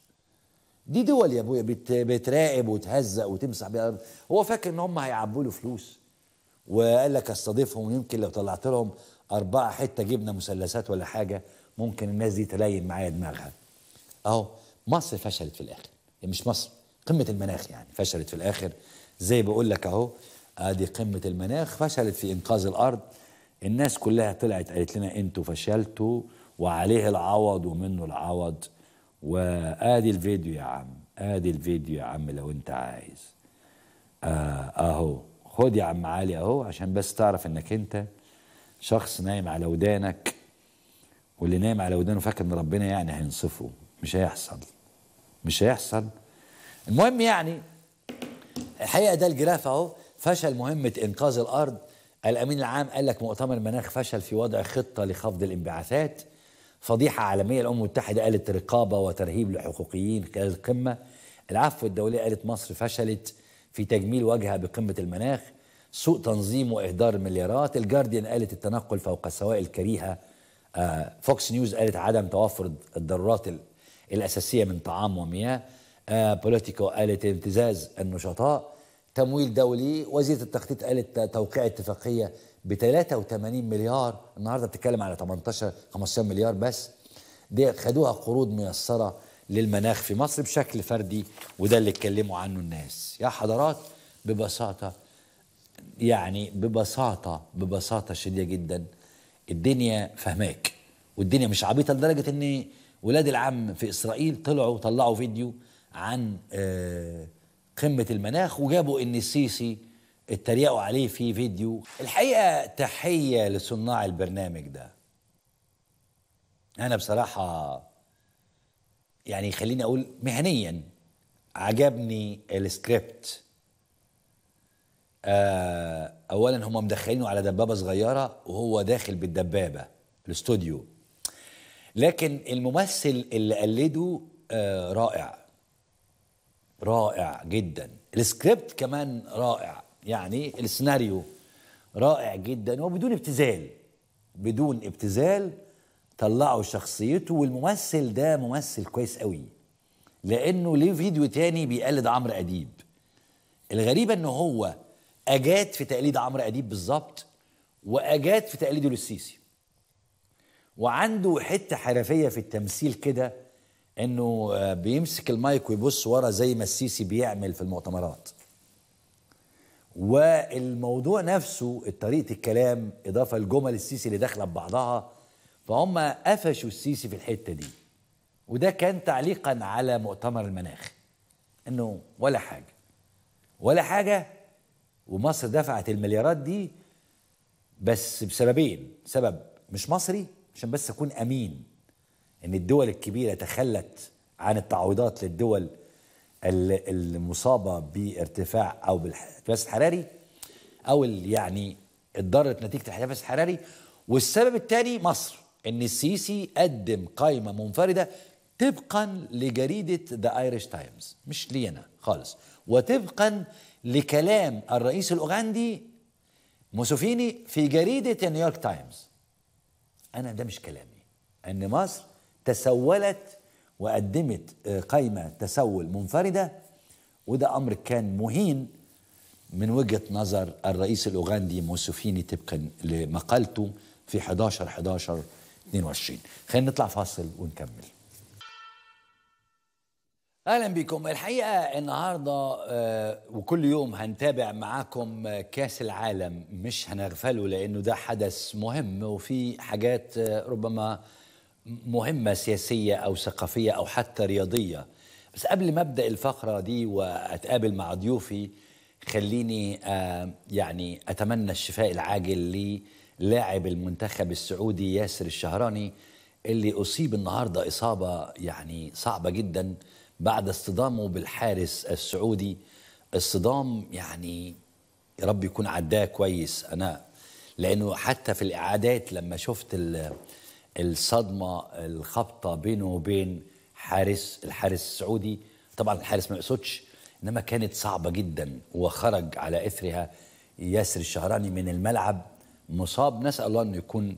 تمام النهارده الحقيقه كانت اربع ماتشات انتهت الماتش الاخير كما أخبرني زمايلي بفوز فرنسا وفرنسا كان فوز مضمون لأنه يعني فرنسا بتقابل منتخب ما هوش يعني قوي إنما آه، الملاحظ أنه أداء المنتخب القطري لم يكن على المستوى خالص أنا كمان عندي انتقادات لأداء المنتخب التونسي ما قدمش المستوى التونسي اللي كان او اللي كنا متعودين عليه انما انا لاحظت حاجه في المنتخب السعودي آه، في المنتخب السنغالي والمنتخب التونسي باعتبار ان احنا قابلنا المنتخبين دول آه، في التصفيات لاحظت انه الفرق بتاعتنا بتيجي بنيجي قدام بعض ونستأسد قوي يعني المنتخب التونسي قدام مصر قدم كرة عالمية لكن آه، النهارده قدم كرة مش قوي يعني قدم مستوى رجولي لكن كرة القدم مش بس رجولة يعني مش بس آه، قوة وصلابة ولياقة بدنية لا كرة القدم فيها خطط فيها مستوى آه، كويس النهاردة ما شفتش ده من المنتخب التونسي مفاجآت كبيرة في مونديال قطر كان آخرها الهزيمة بتاعت الأرجنتين قدام المنتخب السعودي أنا بقول لك بجد المنتخب السعودي قدم مباراة هي الأفضل آه، في تاريخ المنتخب السعودي كله من مونديال 94 وهذا الأداء أصبح حديث السوشيال ميديا عربيا وعالميا ولسه بكرر مرة تانية المنتخب القطري قدم أداء ضعيف جدا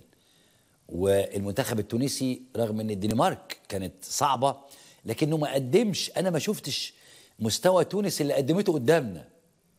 حتى المنتخب السنغالي في اسماعيل يسار او اسماعيل اليسار ده اللي هو الجناح اللي الشمال في المنتخب السنغالي اللي صال وجال قدام مصر ما شفتوش ما يا عم الراجل راح فين ما اختفى ايه بقى فرص المنتخبات العربيه تحديدا في البطوله وايه هو مستوى انا قلت رايي بس جايز اكون غلط خلوني اناقش الاراء دي مع ضيوفي وضيوفكم الاستاذ مازن نعيم آه، الناقد الرياضي استاذ مازن اهلا بيك مساء الخير استاذ محمد تحياتي لحضرتك ايضا معايا الكابتن ناصر صادق آه، الناقد الرياضي والحكم الدولي السابق كابتن ناصر اهلا بحضرتك كابتن ناصر هل تسمعني طيب لحد ما يجي كابتن ناصر خلينا نبدا مع الاستاذ نعيم استاذ نعيم آه، سؤالي كيف آه، حتى الان ترى سيبك من حفل الافتتاح والتنظيم و... هل في حاجة يعني التنظيم هنبقى نناقشه مع الكابتن ناصر لكن إلى أي درجة قطر آه، قدمت مستوى كويس في آه، الماتشات أو الماتش اللي لعبته؟ يعني خيبة أمل للجميع كان أداء المنتخب القطري في مباراته الأولى أمام منتخب الإكوادور كنا نتوقع أن يقدم المنتخب القطري المنسجم عادة كنا نعرف ذلك مع مدربه آه، طبعا فيليكس سانشيز هذا المنتخب يلعب منذ أكثر من آه، يعني ثماني سنوات مع بعض هناك تناغم لكن للأسف عندما أتى الموعد المنتظر وهو لقاء الافتتاح في كأس العالم كان الأداء لا يرتقي لمستوى مباراة كأس العالم وكأن كان هناك خوف عند لاعبي قطر هناك رهبة من هذا الجمهور هناك رهبة من آه، من أن هذه هي المباراة الأولى وبالتالي استطاع منتخب الإكوادور أن يستغل هذه الحالة المتوترة عند منتخب ولاعبو منتخب قطر ليسجل آه، هدفين ويكون هو يحصد النقاط الثلاث كنا نتوقع أن يكون أداء قطر وهي التي تحصل على النقاط الثلاث في أولى مباريات هذا المونديال غير مبرر طبعا آه، الأداء الذي ظهر به المنتخب القطري الصحافة القطرية والصحافة العربية صبت يعني انتقادات كبيرة على أداء المنتخب القطري لانه هؤلاء لاعبين هؤلاء اللاعبين لا ليست هذه مباراتهم الاولى يعني لاعبين منتخب قطر انما هم معتادون وشاركوا في عدد من البطولات حتى في امريكا الجنوبيه وامريكا الشماليه وهم ابطال اسيا يا استاذ مازن انا على ما اذكر هم ابطال صحيح. اسيا وهم حاملون اللقب الاسيوي عام 2019 آه، عندما كانت البطوله في الامارات ولذلك اتى مفاجئا الاداء القطري وطبعا فوت المنتخب القطري على نفسه فرصه الحصول على اسهل ثلاث نقاط في هذه المجموعه لانه بعد ذلك سيلعب مع السنغال ويختتم مشواره مع هولندا وبالتالي أصبحت الأمور أصعب وأصعب وضيق الخناق على نفسه المنتخب القطري في هذه المباراة الأولى التي كان بالإمكان أن يفوز بها لا أنكر هنا آه، طبعا آه، المنتخب الاكوادوري رابع امريكا الجنوبيه الذي تاهل ايضا ولكن ايضا كنا نتوقع ان يكون قطر او يكون المنتخب القطري هو المتسيد لهذه المباراه كونه يلعب على ارضه وامام جماهيره وفي مباراه الافتتاحيه بعد حفل الافتتاح كنا نتوقع أن تكون العزيمة القطرية وللاعبين المنتخب القطري آه، جرأة أكبر في هذا في هذه المباراة الافتتاحية لكن لا نعلم لماذا هذا التراجع الذي كان غريبا بعض الشيء في هذه المباراة وهذا المستوى الذي ظهر عليه المنتخب القطري في هذه المباراة الافتتاحية أقول بأن هناك بعد مباراتين يعني هناك مجال للتعويض لا أعلم المباراة أمام السنغال صعبة أصعب من مباراة الإكوادور والمباراة أمام هولندا ستكون أصعب وأصعب لا نعرف ولا يمكن أن نتكهن بنتائج المباريات المقبلة ولكن لا شك بأن المنتخب القطري ضيع على نفسه نقاط ثلاث كانت بالمتناول طيب خليني أستقبل الأستاذ كابتن ناصر صادق الناقد الرياضي والحكم الدولي السابق الدكتور كابتن ناصر أهلا بحضرتك أهلا بحضرتك أستاذ محمد وكل سنة المشاهدين تحيه لحضرتك معلش انا عندي سؤال ليك كابتن ناصر يعني انت رحت الملعب يعني حضرت ماتش في الملعب شفت الافتتاح في الملعب نعم انا حضرت الافتتاح وحضرت مباراه آه، آه، الامس بين السنغال وهولندا في طيب. الملعب طب. ايضا يعني طب معلش قعدني بقى في الملعب دلوقتي يعني انا دلوقتي عايز انا والجمهور انا ما رحتش وما شفتش عايز اقعد في الملعب يعني احكي لي الكور ايه بقى الشنطه اللي, اللي ادوها لكم دي وهل وزعت على كل الناس ولا كانت ناس وناس وايه حكايه الكرسي اللي هو مكيف يعني قعدني في الملعب لا طبعا مش كل الناس خدوا الشنط دي لضيوف قطر يعني في الفي اي بي والضيوف اللي شرفوا قطر في الافتتاح وانا يمكن اتقابلت مع ناس كتير منهم بحكم عمل الصحفي آه، قطر مسهله كل حاجه مجهزه كل حاجه يعني افضل كلمه سمعتها امبارح من عن التنظيم ان يعني قطر آه، هي فازت بكاس العالم في التنظيم فازت قبل ان يبدا تبدا البطوله هي طيب في التنظيم بس قبل التنظيم كلمني عن الافضل رئيس الاتحاد الافريقي انا قابلته احمد ولد يحيى قال لي احسن بطوله كاس عالم شفتها حتى الان آه، آه، آه، الحاج ضيوف نجم منتخب السنغال السابق قابلته وسالته بشكل مباشر هل هي افضل بطوله شافها في كاس العالم؟ قال لي نعم وطبعا ده كان انطباع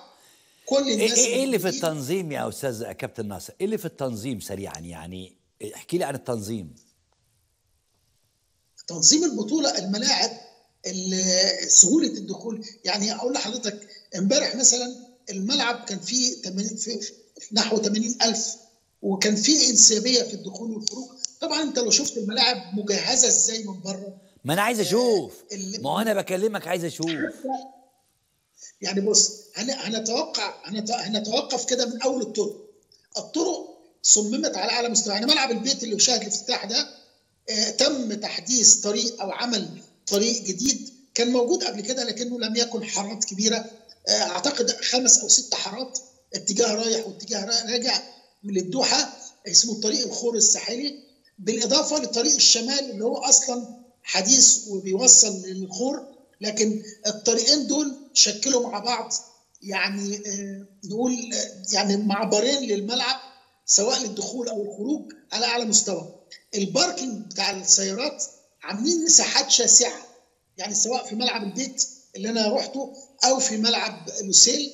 وبعدين الاستادات اول ما يعني اول ما تدخل كل حاجه معمول حسابها من اول ما تدخل حتى السيدات اللي معاهم اطفال في عربات للاطفال حتى الاطفال اللي هم الرضع او الصغيرين اللي ما قدروش يمشوا آه، في عربات آه، اللي هي بيسموها الكراسي المتحركه مش مش لذوي الاحتياجات الخاصه بس لاي حد ما يقدرش يمشي في حتى سيارات الجولف دي لو لو حضرتك آه، يعني شفتها هناك مدى كثافتها ودي مش لخدمه بس الضيوف الكبار او الفي اي بي لخدمه الجمهور العادي اللي ما اللي ما يقدرش يمشي او اللي هم ضيوف قطر اللي هم بيركنوا بعيد شويه ممكن يجي يركبوا اللي هي سيارات الجولف الملفت كمان ان مش اي حد بيسوق سيارات الجولف دي انا شفت شخصيات آه، يعني في مناصب مرموقه لكنهم بيحبوا بلدهم ومستعدين يخدموا في اي مكان فكانوا في بعضهم بي بيقود ال سيارات اللي هي سيارات الجولف دي بنفسه بعدين تدخل الملاعب يعني آه، تحفه فنيه ومعماريه من بره ومن جوه يعني بصراحه آه، يعني شفت الملعب آه، ملعب البيت من بره امبارح كمان كانوا عاملين فيه استعدادات خاصه كمان وحاجات كده حاجات يعني إيه، تناسب الطابع العربي والشرقي بالاضافه بالاضافه لجوده لجوده مقاعد الجمهور آه، للمكان اللي اقيم فيه اللي هم كان فيه ضيوف قطر اللي هم الفي في اي بي واللي هم الفي في اي بي اللي هم كان قيادات الدول وال طيب والناس خل... اللي كانوا مسؤولين خل... بالنسبه للمرأة للمقاعد بقى التكييف في تكييف في نوعين من التكييف في الملعب في تكييف للملعب نفسه وده بيطلع من اطراف يعني حوالين الملعب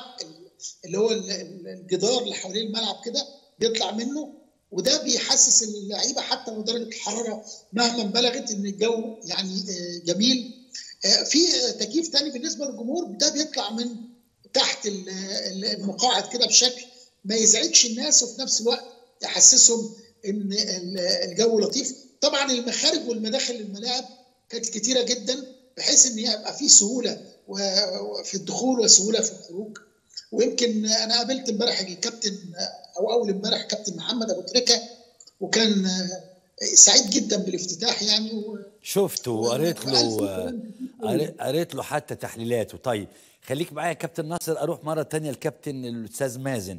استاذ مازن كلمنا عن اداء قطر وقلنا انه مخيب للامال والطموحات لكن كلمني النهارده عن اداء تونس ما هو تحليلك لاداء تونس يا استاذ مازن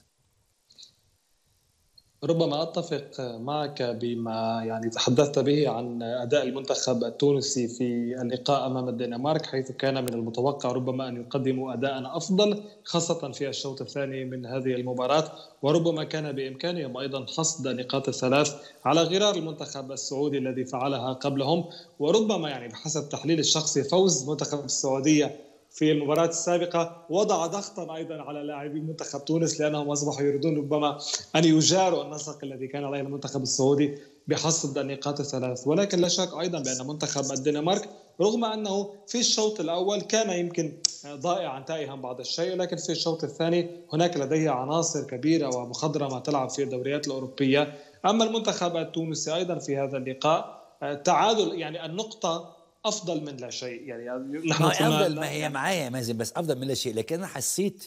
بمشكلتين في المنتخب التونسي اول مشكله فنيه ان انا لم اشعر بجمل يعني بانه في جمل في تكتيك بيتعمل يعني ما شفتش ده إيه، خالص صحيح, صحيح. آه آه ده رايي انا بقول رايي قد يكون مش صحيح بالمناسبه لا ما هي مساله الضغط الذي يعني واضح بان المنتخب التونسي كان يعاني من الضغط خاصة في الأمتار الأخيرة أمام المرمى ما لسه هقول لك النقطة آه، الثانية بقى النقطة الثانية شعرت إن في ضعف في اللياقة البدنية كتيرة أنت بتلعب على الهجمة المرتدة في أوقات كتيرة من الماتش لعبوا عليها طيب الهجمة المرتدة محتاجة لاعبين قدام عندهم لياقة تكمل أنا شفت أكتر من هجمة كانت ممكن تعمل حاجة لكن اللاعبين الأمتار الأخيرة تفاجئ اللاعب ينهار تماما فكريا و... و... وعضليا وبتبتدي يعمل اي حاجه بحيث انه الكره تتخلص منها وكانه عبء عليه هذه الهجمه ممكن يكون خطا لكن في تقييمك ما هو رايك او تحليلك لده استاذ محمد فنيا لا يمكن ان انتقد المنتخب التونسي ولكن ممكن ان انتقد الذهنيه عند اللاعبين يعني هم طبيعي يعني عندما يذهبون لكاس العالم يتحضرون قبل ذلك فهم جاهزون بدنيا انما نفسيا وذهنيا في هذه المباريات يحتاج ايضا الى تحضير واعداد في بعض الاحيان يعني يتم آه، يعني تجاهل الامور الذهنيه في مقابل الامور الفنيه واين تظهر هذه النقاط في المباراه عندما تجد بان المنتخب يستحوذ على الكره يقوم ببناء الهجمه وبعد ذلك تضيع امام المرمى بشكل غريب هنا نعلم بان نعلم بان الحاله الذهنيه ربما هناك ضغط على اللاعبين في مباراتهم الافتتاحيه وربما اكون يعني صائبا بمساله ان نتيجه مباراه السعوديه وصلت الى لاعبي منتخب تونس هذا يجعلهم يفكرون اكثر في ان يقدموا اداء مشابها وان يحاولوا الحصول على النقاط الثلاث في بعض الاحيان تلعب عاملا عكسيا على اللاعبين خاصه اللاعبين العرب ولكن هذا ليس مبررا لمنتخب كمنتخب تونس شاهدناه عندما كان في التصفيات شاهدناه عندما كان في المباريات المؤهلة كان بالإمكان على يعني للمنتخب التونسي أن يقدم أداء أفضل أيضا علامة استفهام على الاعداد البدء الاعداد الذهني للاعبي المنتخب التونسي هل كانوا مركزين اكثر في هذه المباراه هل يفكرون في المباريات المقبله لديهم ايضا مواجهات امام استراليا وامام ايضا المنتخب الفرنسي بعد ذلك وبالتالي الامور ربما تصبح صعبه في المباريات المقبله اضاعوا نقطه كسبوا نقطه ويبقى الامر متروك لمباراتين المقبلتين بالنسبه للمنتخب التونسي طيب اروح لكابتن ناصر كابتن ناصر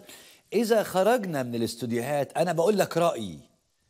وبرضه قد اكون خطا وانا برفع عنك الحرج وشفنا التقنيات اللي في الملعب انا شفتها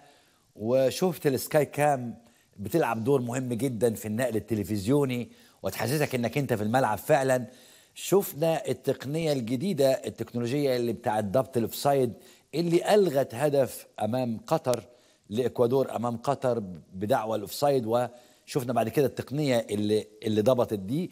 تقنيات جديده دخلت الان في التلفزيونات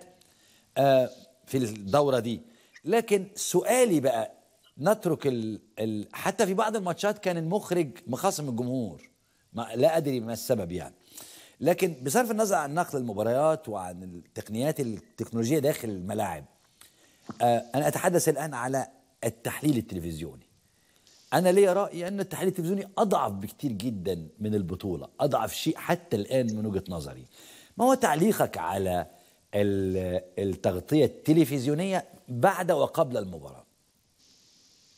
تغطيه يعني ايه التغطيه التلفزيونيه مش فاهم يعني الاستوديوهات التحليليه الاستوديوهات التحليليه آه التعامل مع الاوقات المخصصه للتحليل التلفزيوني يا فندم ازاي ده يعني انا عايز اقول لحضرتك مثلا هنتكلم عن الوكيل الحصري ل في في في الشرق الاوسط والمنطقه العربيه لكاس العالم بين سبورت بين سبورت اه بين سبورت عامله كل خريطتها البرامجيه لكاس العالم ازاي ما هو انا نجوم انا ما قلتش لا انا ما يعني؟ قلتش لا انا بتكلم عن المستوى انا لا اتحدث عن الك... عن الكم لا هي مخصصه بين سبورت آه. بتاعت رياض لكن الطريقه الت... التناول البرامج يعني انا لما شفت التناول التركي لكاس العالم لا اسخن و... و... واقوى بكتير جدا من تناول بون سبورت انت ممكن تختلف معايا انت قول لي ايه وجهه نظرك لا انا بصراحه شايف انا ما شفتش التركي ولا شفت انا بشوف بين سبورت فقط وشايف ان بين سبورت اصلا يعني دايما بتقدم مستوى متميز سواء البطوله في قطر او غير قطر يعني بالعكس انا شايف ان بين سبورت في قطر مركزه اكتر وجايبه آه، آه، كم آه، نجوم وفي زخم كبير جدا بيمثلوا طب معلش طب معلش انا معلش ما انا عارف انا انا بصرف النظر ما انا عارف ان هم جايبين كاكا وجايبين يعني اعلى مستويات في العالم انا بتحدى خليني ابعد طب شويه عن مثلا مثلا في ماتش تونس النهارده في ماتش تونس النهارده آه. كان في معلق احمد الطيب حقيقه انا اتمنى من ربنا ما اسمعوش تاني يعني ما اشوفلوش تعليق تاني لان هذا الرجل ترك ترك المباراه وفنيات المباراه ليتفرغ لاستعراض معلوماته عن المنتخب التونسي و وذكرياته يعني الى اي مدى انت آه، تقيم نعم الكابتن انت قصدي حضرتك مش الت... مش التغطيه قصدي حضرتك التعليق مثلا انا بك... ماشي انا بتكلم عن طيب الت... خلينا في التعليق التعليق هنقول اولا الكابتن احمد طيب ما بيعلقش في سبورت انا اللي اعرفه ان قناه الكاس واخده المباريات وهو بيعلق هناك في قناه الكاس ثانيا انا يمكن اختلف حضرتك شويه ان كابتن نعم احمد طيب من افضل المعلقين اللي انا شخصيا انا لعبت كوره وحكمت كوره ودربت في الكوره شايف انه من اكثر المعلقين آه، آه، فهما لكره القدم ممكن يكون عنده آه، طب ما يشتغل محلل ما يشتغل محلل يعني رياضي لا ما هو محتاج احنا محتاجين بالعكس ده انا انا شخصيا وحبذ ان المعلق يكون فاهم في الكوره بقول لك ايه يا كابتن ناصر بقول لك ايه معلش هقطعك انت فاكر الكابتن علي زيور طبعا الكابتن علي زيور انا قابلته وانا لاعب ناشئ في نادي النيل طيب. الادويه علي زيور رحمه الله علي زيور رحمه الله عليه في احد اللقاءات التلفزيونيه كانوا جايبين له المعلقين وقتها الشباب كانوا جايبين له بقى يعني الكابتن محمود بكر وغيره يعني فجاء عند محمود بكر بيسالوه ايه رايك فيهم فجاء عند محمود بكر قال هذا الرجل يصلح كمحلل رياضي وليس معلق كوره لانه بيستغرق في التشكيل في الفنيات وفي التشكيل وفي الحاجات دي السؤال يعني آه، ما هو تعليقك على مستوى التعليق على مباراه الكره انا يمكن آه، شفت يعني شفت الزاويه يعني شفت التعليق بزاويه اخرى غير اللي حضرتك يمكن بتشوفها انا شايف ان ان مستوى التغطية والتعليق والنقل التلفزيوني وكل ما يحب البطولة هو مثال يعني آه، يعني أنا بقول لحضرتك أنا قابلت ناس كتير وعلى مستويات مختلفة سواء إداريين مسؤولين كبار في الاتحاد الأفريقي آه، في المدربين لا انا ما انا عارف انا انا بتكلم على النقل التلفزيوني يا كابتن ناصر يعني السعوديه مثلا آه. السعوديه كانت بتنتهج نهج كده انها في ايام الحج كانت بتجيب آه، معلقين مصريين وتعمل آه، آه، إذاعة مشتركة ما بين المصريين والسودانيين وال... أنا قعدت أفكر لماذا لم تهتدي بين سبورت إلى مثل هذه الفكرة ويبقى اللي بيدير الاستوديو الرياضي والتحليل الرياضي مذيع سوداني مذيع مصري مذيع ليبي وهكذا وتجمع العرب بدل المذيعين القطريين اللي احنا يعني خلاص لا بالعكس الموجودين الموجودين ما شاء الله ناس على اعلى مستوى يعني انا شايف مثلا امبارح الكابتن ابو دريك كان قابلته اول امبارح كان خارج مع الكابتن محمد سعدون الكواري وهو من افضل الشخصيات اللي انا على المستوى الشخصي انا انا اسمع عنه واعرفه اعرفه وفي نفس الوقت هو من افضل المعلقين والكوادر المميزه وبعدين بين سبورت اصلا من اكثر القنوات اللي عندهم آه، تنوع في المذيعين بدليل ده حتى عندهم آه، زميلنا الاخ احمد فؤاد وهو مذيع لو حضرتك تقصد المذيع اللي هو مقد... اللي هو مذيع الحلقه التحليل, التحليل الرياضي التحليل اه عندهم احمد فؤاد من المصري وعندهم حتى مذيعين جدد جابوهم آه، مصريين ومذيعات بيقدموا البرامج جايبين مذيع مذيع لبناني عندهم اعتقد ليبي مذيعين ليبيين وتوانسه ومغاربه عندهم كل يمكن على اي حال لسه بدري يمكن على دي لما نشوف لاخر البطوله طب خليني اروح لكابتن مازن استاذ مازن استاذ مازن آه، بعد ماتش ثلاث ماتشات آه، كان الطرف فيهم فرق عربيه زي السعوديه قطر تونس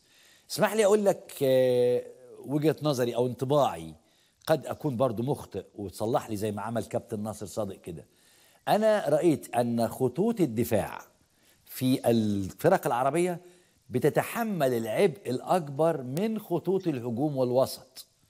إلى أي مدى وجهة نظري دي غلط أو صح؟ هذا هذا شيء طبيعي لانه عاده المنتخبات التي تواجه المنتخبات العربية هي التي تبادر للهجوم وبالتالي يصبح الضغط أكثر على خط الدفاع الذي يتحمل أكثر من 70 إلى 75% من الضغط عليه لأنه كما ذكرت لك من النادر أن نشاهد المنتخبات العربية تبادر إلى الهجوم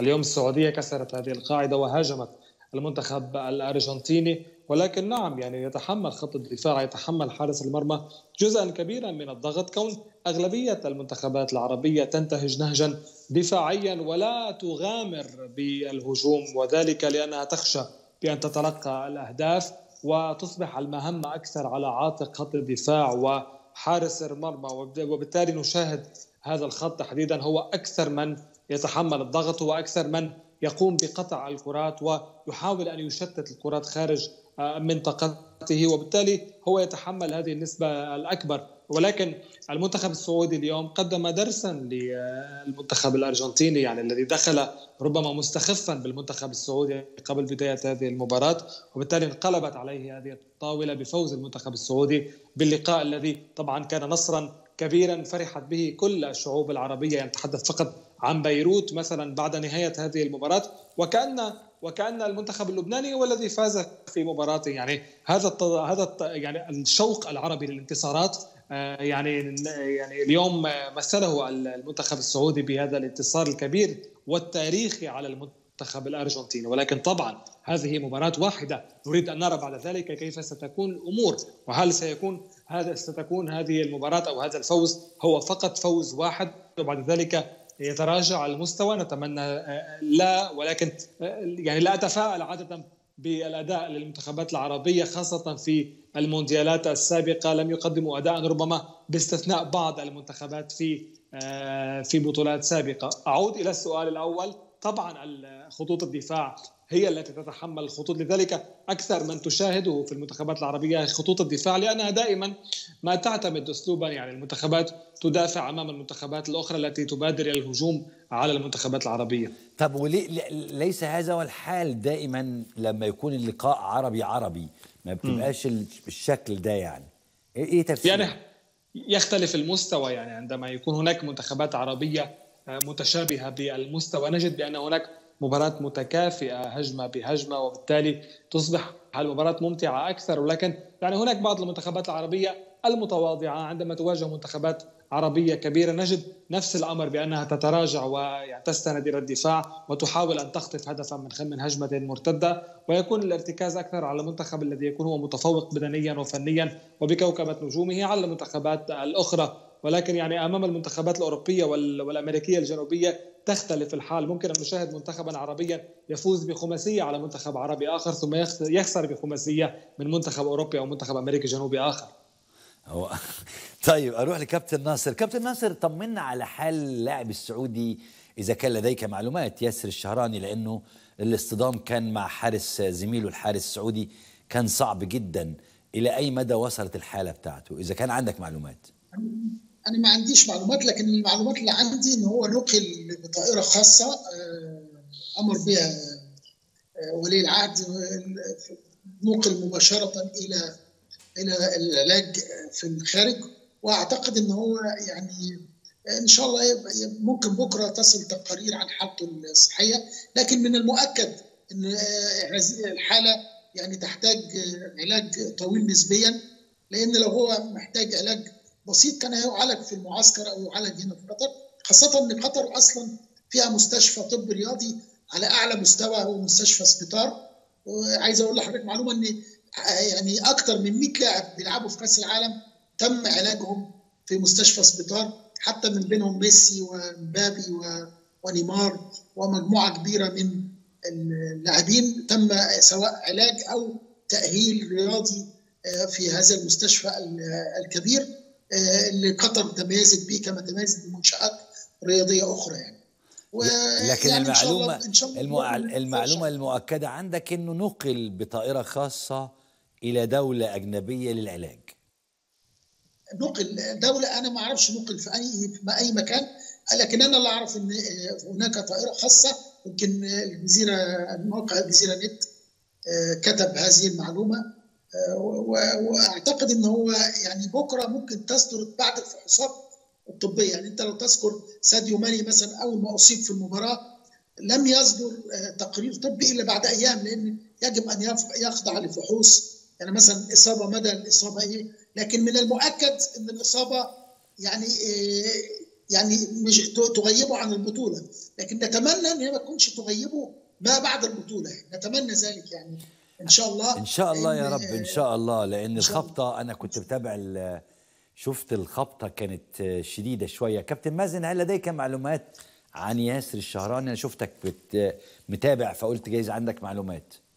يعني بحسب اخر المعلومات انه نقل بامر من ولي العهد السعودي الى المانيا تحديدا لانه تعرض بحسب التقارير الاوليه الى اصابه في كسر هناك كسر في الفك هناك ايضا يعني آه، اضرار آه، تحديدا في منطقه الفك السفلي والاسنان وهذه الامور بالطبيعي انتهى مونديال ياسر شهراني آه، نتمنى له الشفاء العاجل سيكمل علاجه في الخارج بعد ذلك سيعود الى المملكه العربيه السعوديه ومن هناك سيتابع رحله علاج بالنسبه للمنطقه التي تعرض فيها طبعا نشاهد هنا الاصابه صعبه جدا جدا جدا الحمد لله على السلامه نقول له ان شاء الله يعني آه، آه، هذه اصابات تحدث آه، استاذ محمد اذكر اصابه احد لاعبي منتخب فرنسا في مونديال عام 82 اذا لست مخطئا خرج الحارس الالماني وايضا اقتحم احد لاعبي منتخب فرنسا انهى له مسيرته الكرويه عند ذلك نتمنى ان تكون اصابه يعني ياسر الشهراني محدوده يتم العلاج سريعا وان يعود الى الملاعب ولكن مونديال ياسر الشهراني قد انتهى للاسف أنا لما شفت اللقطة وهي اللي ظهرت قدامنا على الشاشة من شوية وكمان مش بس كده لما شفت صور فوتوغرافية ليها للاصطدام فلو شفنا صورة فوتوغرافية كانوا جايبينها أحد وكالات الأنباء شديدة تفصيلية تفصيلية آه تحديدا أيوة. تفصيلية شديدة القسوة يعني طبعا نعم عايز اقول لحضرتك حاجه ان آه الاصابه بهذا الشكل يعني ممكن تطول مده غيابها آه، مده شهر اثنين لكنها لن تبعده عن الملاعب لان هي على مستوى الفك الفك يعالج هي المشكله في في في في المفاصل والركب والكاحل واللي هو الفخذ والحاجات دي طالما بعيده عن المفاصل والمناطق صحيح. اللي هي الحيويه ان شاء الله هي بس المشكله ان الفك منطقه حساسه يعني فاي ضربه قويه فيها بتؤثر فما بالك بقى ضربه بالركبه يعني ضربه بالركبه حاجه آه، قويه جدا في لاعب يا يعني كابتن يعني ناصر في لاعب ادي آه، آه، الصوره كده وفي برضو زاويه تانية اقرب من كده ادي الصوره للاصطدام في زاويه تانية برضو يا علي اصعب انا هقول لحضرتك حاجه في لاعب منضم حديثا هذا الموسم لفريق ليفربول اسمه دياز اصطدم بحارس المرمى اعتقد في ماتش مانشستر سيتي في احد احدى المباريات نفس الاصطدام ده بس كان بزاويه مختلفه وقام انا لما وقع افتكرت انه مات خلاص لقيته قام كان في الراس تقريبا على مستوى الراس وقام والامور طيبه هو مشكله ان الفك بس منطقه حساسه وضعيفه فالضربه يعني آه، هي دي بص شوف سوري اسف يا كابتن آه. ناصر هي دي هي دي فعلا اللقطه القريبه جدا اللي آه. بتصور لحظه صدام العيسي تقريبا بالشهراني اللحظة دي قوتين مندفعتين بيلتقوا مع بعض في منطقة ضعيفة جدا اللي هي منطقة الفك عند كابتن ياسر الشهراني طب معلش يا كابتن ناصر سريعا كده كان في لاعب عربي لابس ماسك النهارده آه، ان ما خانتنيش الذاكره كان لابس آه، حاجه على راسه احد اللاعبين انا شفته لابس كده ما هو ده برضه الماسك مسموح بيه مسموح بيه في كره القدم بمواصفات معينه ان هو لا يؤذي اللاعب ولا يؤذي اللاعبين يمكن شفنا آه، رودريجو رودريجر لاعب آه، ريال صحيح لعب انطونيو روديجر صحيح اه لعب وامور آه، عادي خالص طالما الماسك لا يؤذي يعني ما يكونش صلب بشكل انه لو خبط في, يعني في لاعب تاني اه ولا يؤذي اللاعب نفسه مسموح بيه زي النظارات الطبيه طيب. حتى النظاره الطبيه مش انا انا وقتي انا للاسف وقتي خلص بس عايز اسالك سؤال يا كابتن ناصر اتلغت ثلاث اهداف تقريبا لفريق الارجنتين ما هو تقييمك كلهم اوف سايد ما هو تقييمك يا فندم مش تقريبا هم فعلا ثلاث اهداف بس منهم واحد آه، آه، تسلل اثنين تسلل وواحد آه, اه كان ميسي واحد صح ثلاثه أيوه. ميسي واحد و آه, آه، في هدفين لمارتينيز آه. الاهداف الاهداف سليمه والاهداف سليمه التسلل فيها سليم يعني والفضل في كشف التسلل فيها يرجع لتقنيه آه، اسمها التسلل شبه الاليه اللي طبقت في كاس العالم لاول مره في تاريخ بطوله كاس العالم وجربت قبل كده في كاس العالم للانديه الاخير في الامارات التقنيه دي تقنيه عاليه المستوى بتكشف التسلل خلال ثواني معدوده من خلال 12 كاميرا عاليه الجوده ايضا مثبته في سقف الملعب يعني سقف الملعب ده مش ل... مش زينه بس اللي هي سكاي اللي هي سكاي كام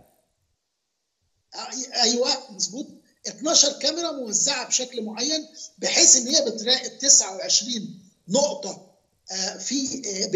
بالنسبه للمهاجمين والمدافعين مع الكره بتربطهم مع الكره لان زي ما حضرتك عارف التسلل بيحتسب لحظه لمس الكره من الزميل بيبدا يتحسب التسلل فين تمام فب 29 نقطه دول بيحددوا من خلال خوارزميات واجهزه الكمبيوتر التسلل هل في تسلل ولا لا؟ انت لو شفت الجول الاول اللي اتلغى لمارتينيز في الدقيقه 27 هتلاقي الصوره جايه وهو في تقنيه بتجيب الصوره حتى بس بتجيبها صوره تخيليه هتلاقي مارتينيز متسلل بالجزء ده من كتفه جزء بسيط جدا يعني يمكن الجزء ده لولا التعديل اللي دخل اللي السنه اللي طبق السنه دي بس ما كانش ان الجزء ده يعتبر يعتبر من الكتف مش من الذراع كان ممكن ما يحسبش التسلل ده ويحتسب جول لكن التسلل احتسب عليه بجزء حته يمكن من سنتي فدي منتهى الدقه منتهى الدقه يعني بعد كده اي تسلل يا كابتن ناصر هيبقى ملناش كلام فيه لان الجهاز هو اللي ظبطه او الكاميرات هي اللي ظبطته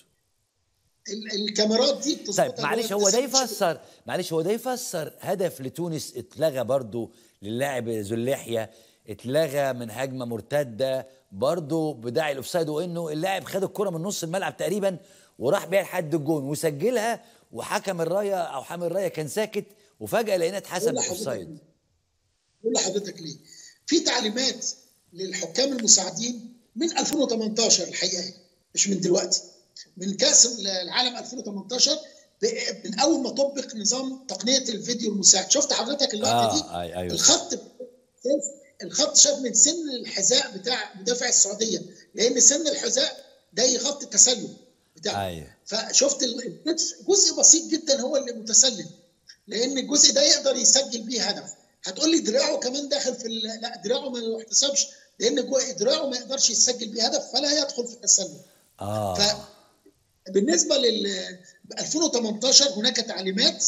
للحكام بعدم رفع حكام مساعدين بعدم رفع الرايه آه، الاعلان عن تسلل اي تسلل في شك ولا 1% ما ترفعش الرايه سيب اللعبه تكمل وبعدما تنتهي الهجمه اذا اسفرت عن هدف او مثلا آه، ركله حاجه ركله ركنيه على الفريق المدافع يبقى من هنا ممكن ترفع وبعد كده نشوف في الفار بقى نشوف في الفار في السنه دي في كاس العالم 2022 الموضوع زاد زاد عليه التسلل شبه الان فالتعليمات شددت على الحكام المساعدين ان انت آه، استنى خالص في قاعده عندنا عشان كده كن ايامنا احنا اسمها ويت اند سي انتظر وشوف دلوقتي انتظر بقى مش عشان انت تشوف انتظر حتى يرى تقنيه التسلل آه، شبه الالي دي وتشوف القرار ليه بقى هم بيقول لك سماتش اللعب عشان ما ياثرش على المهاجم اللي رايح ان انت ترفع الرايه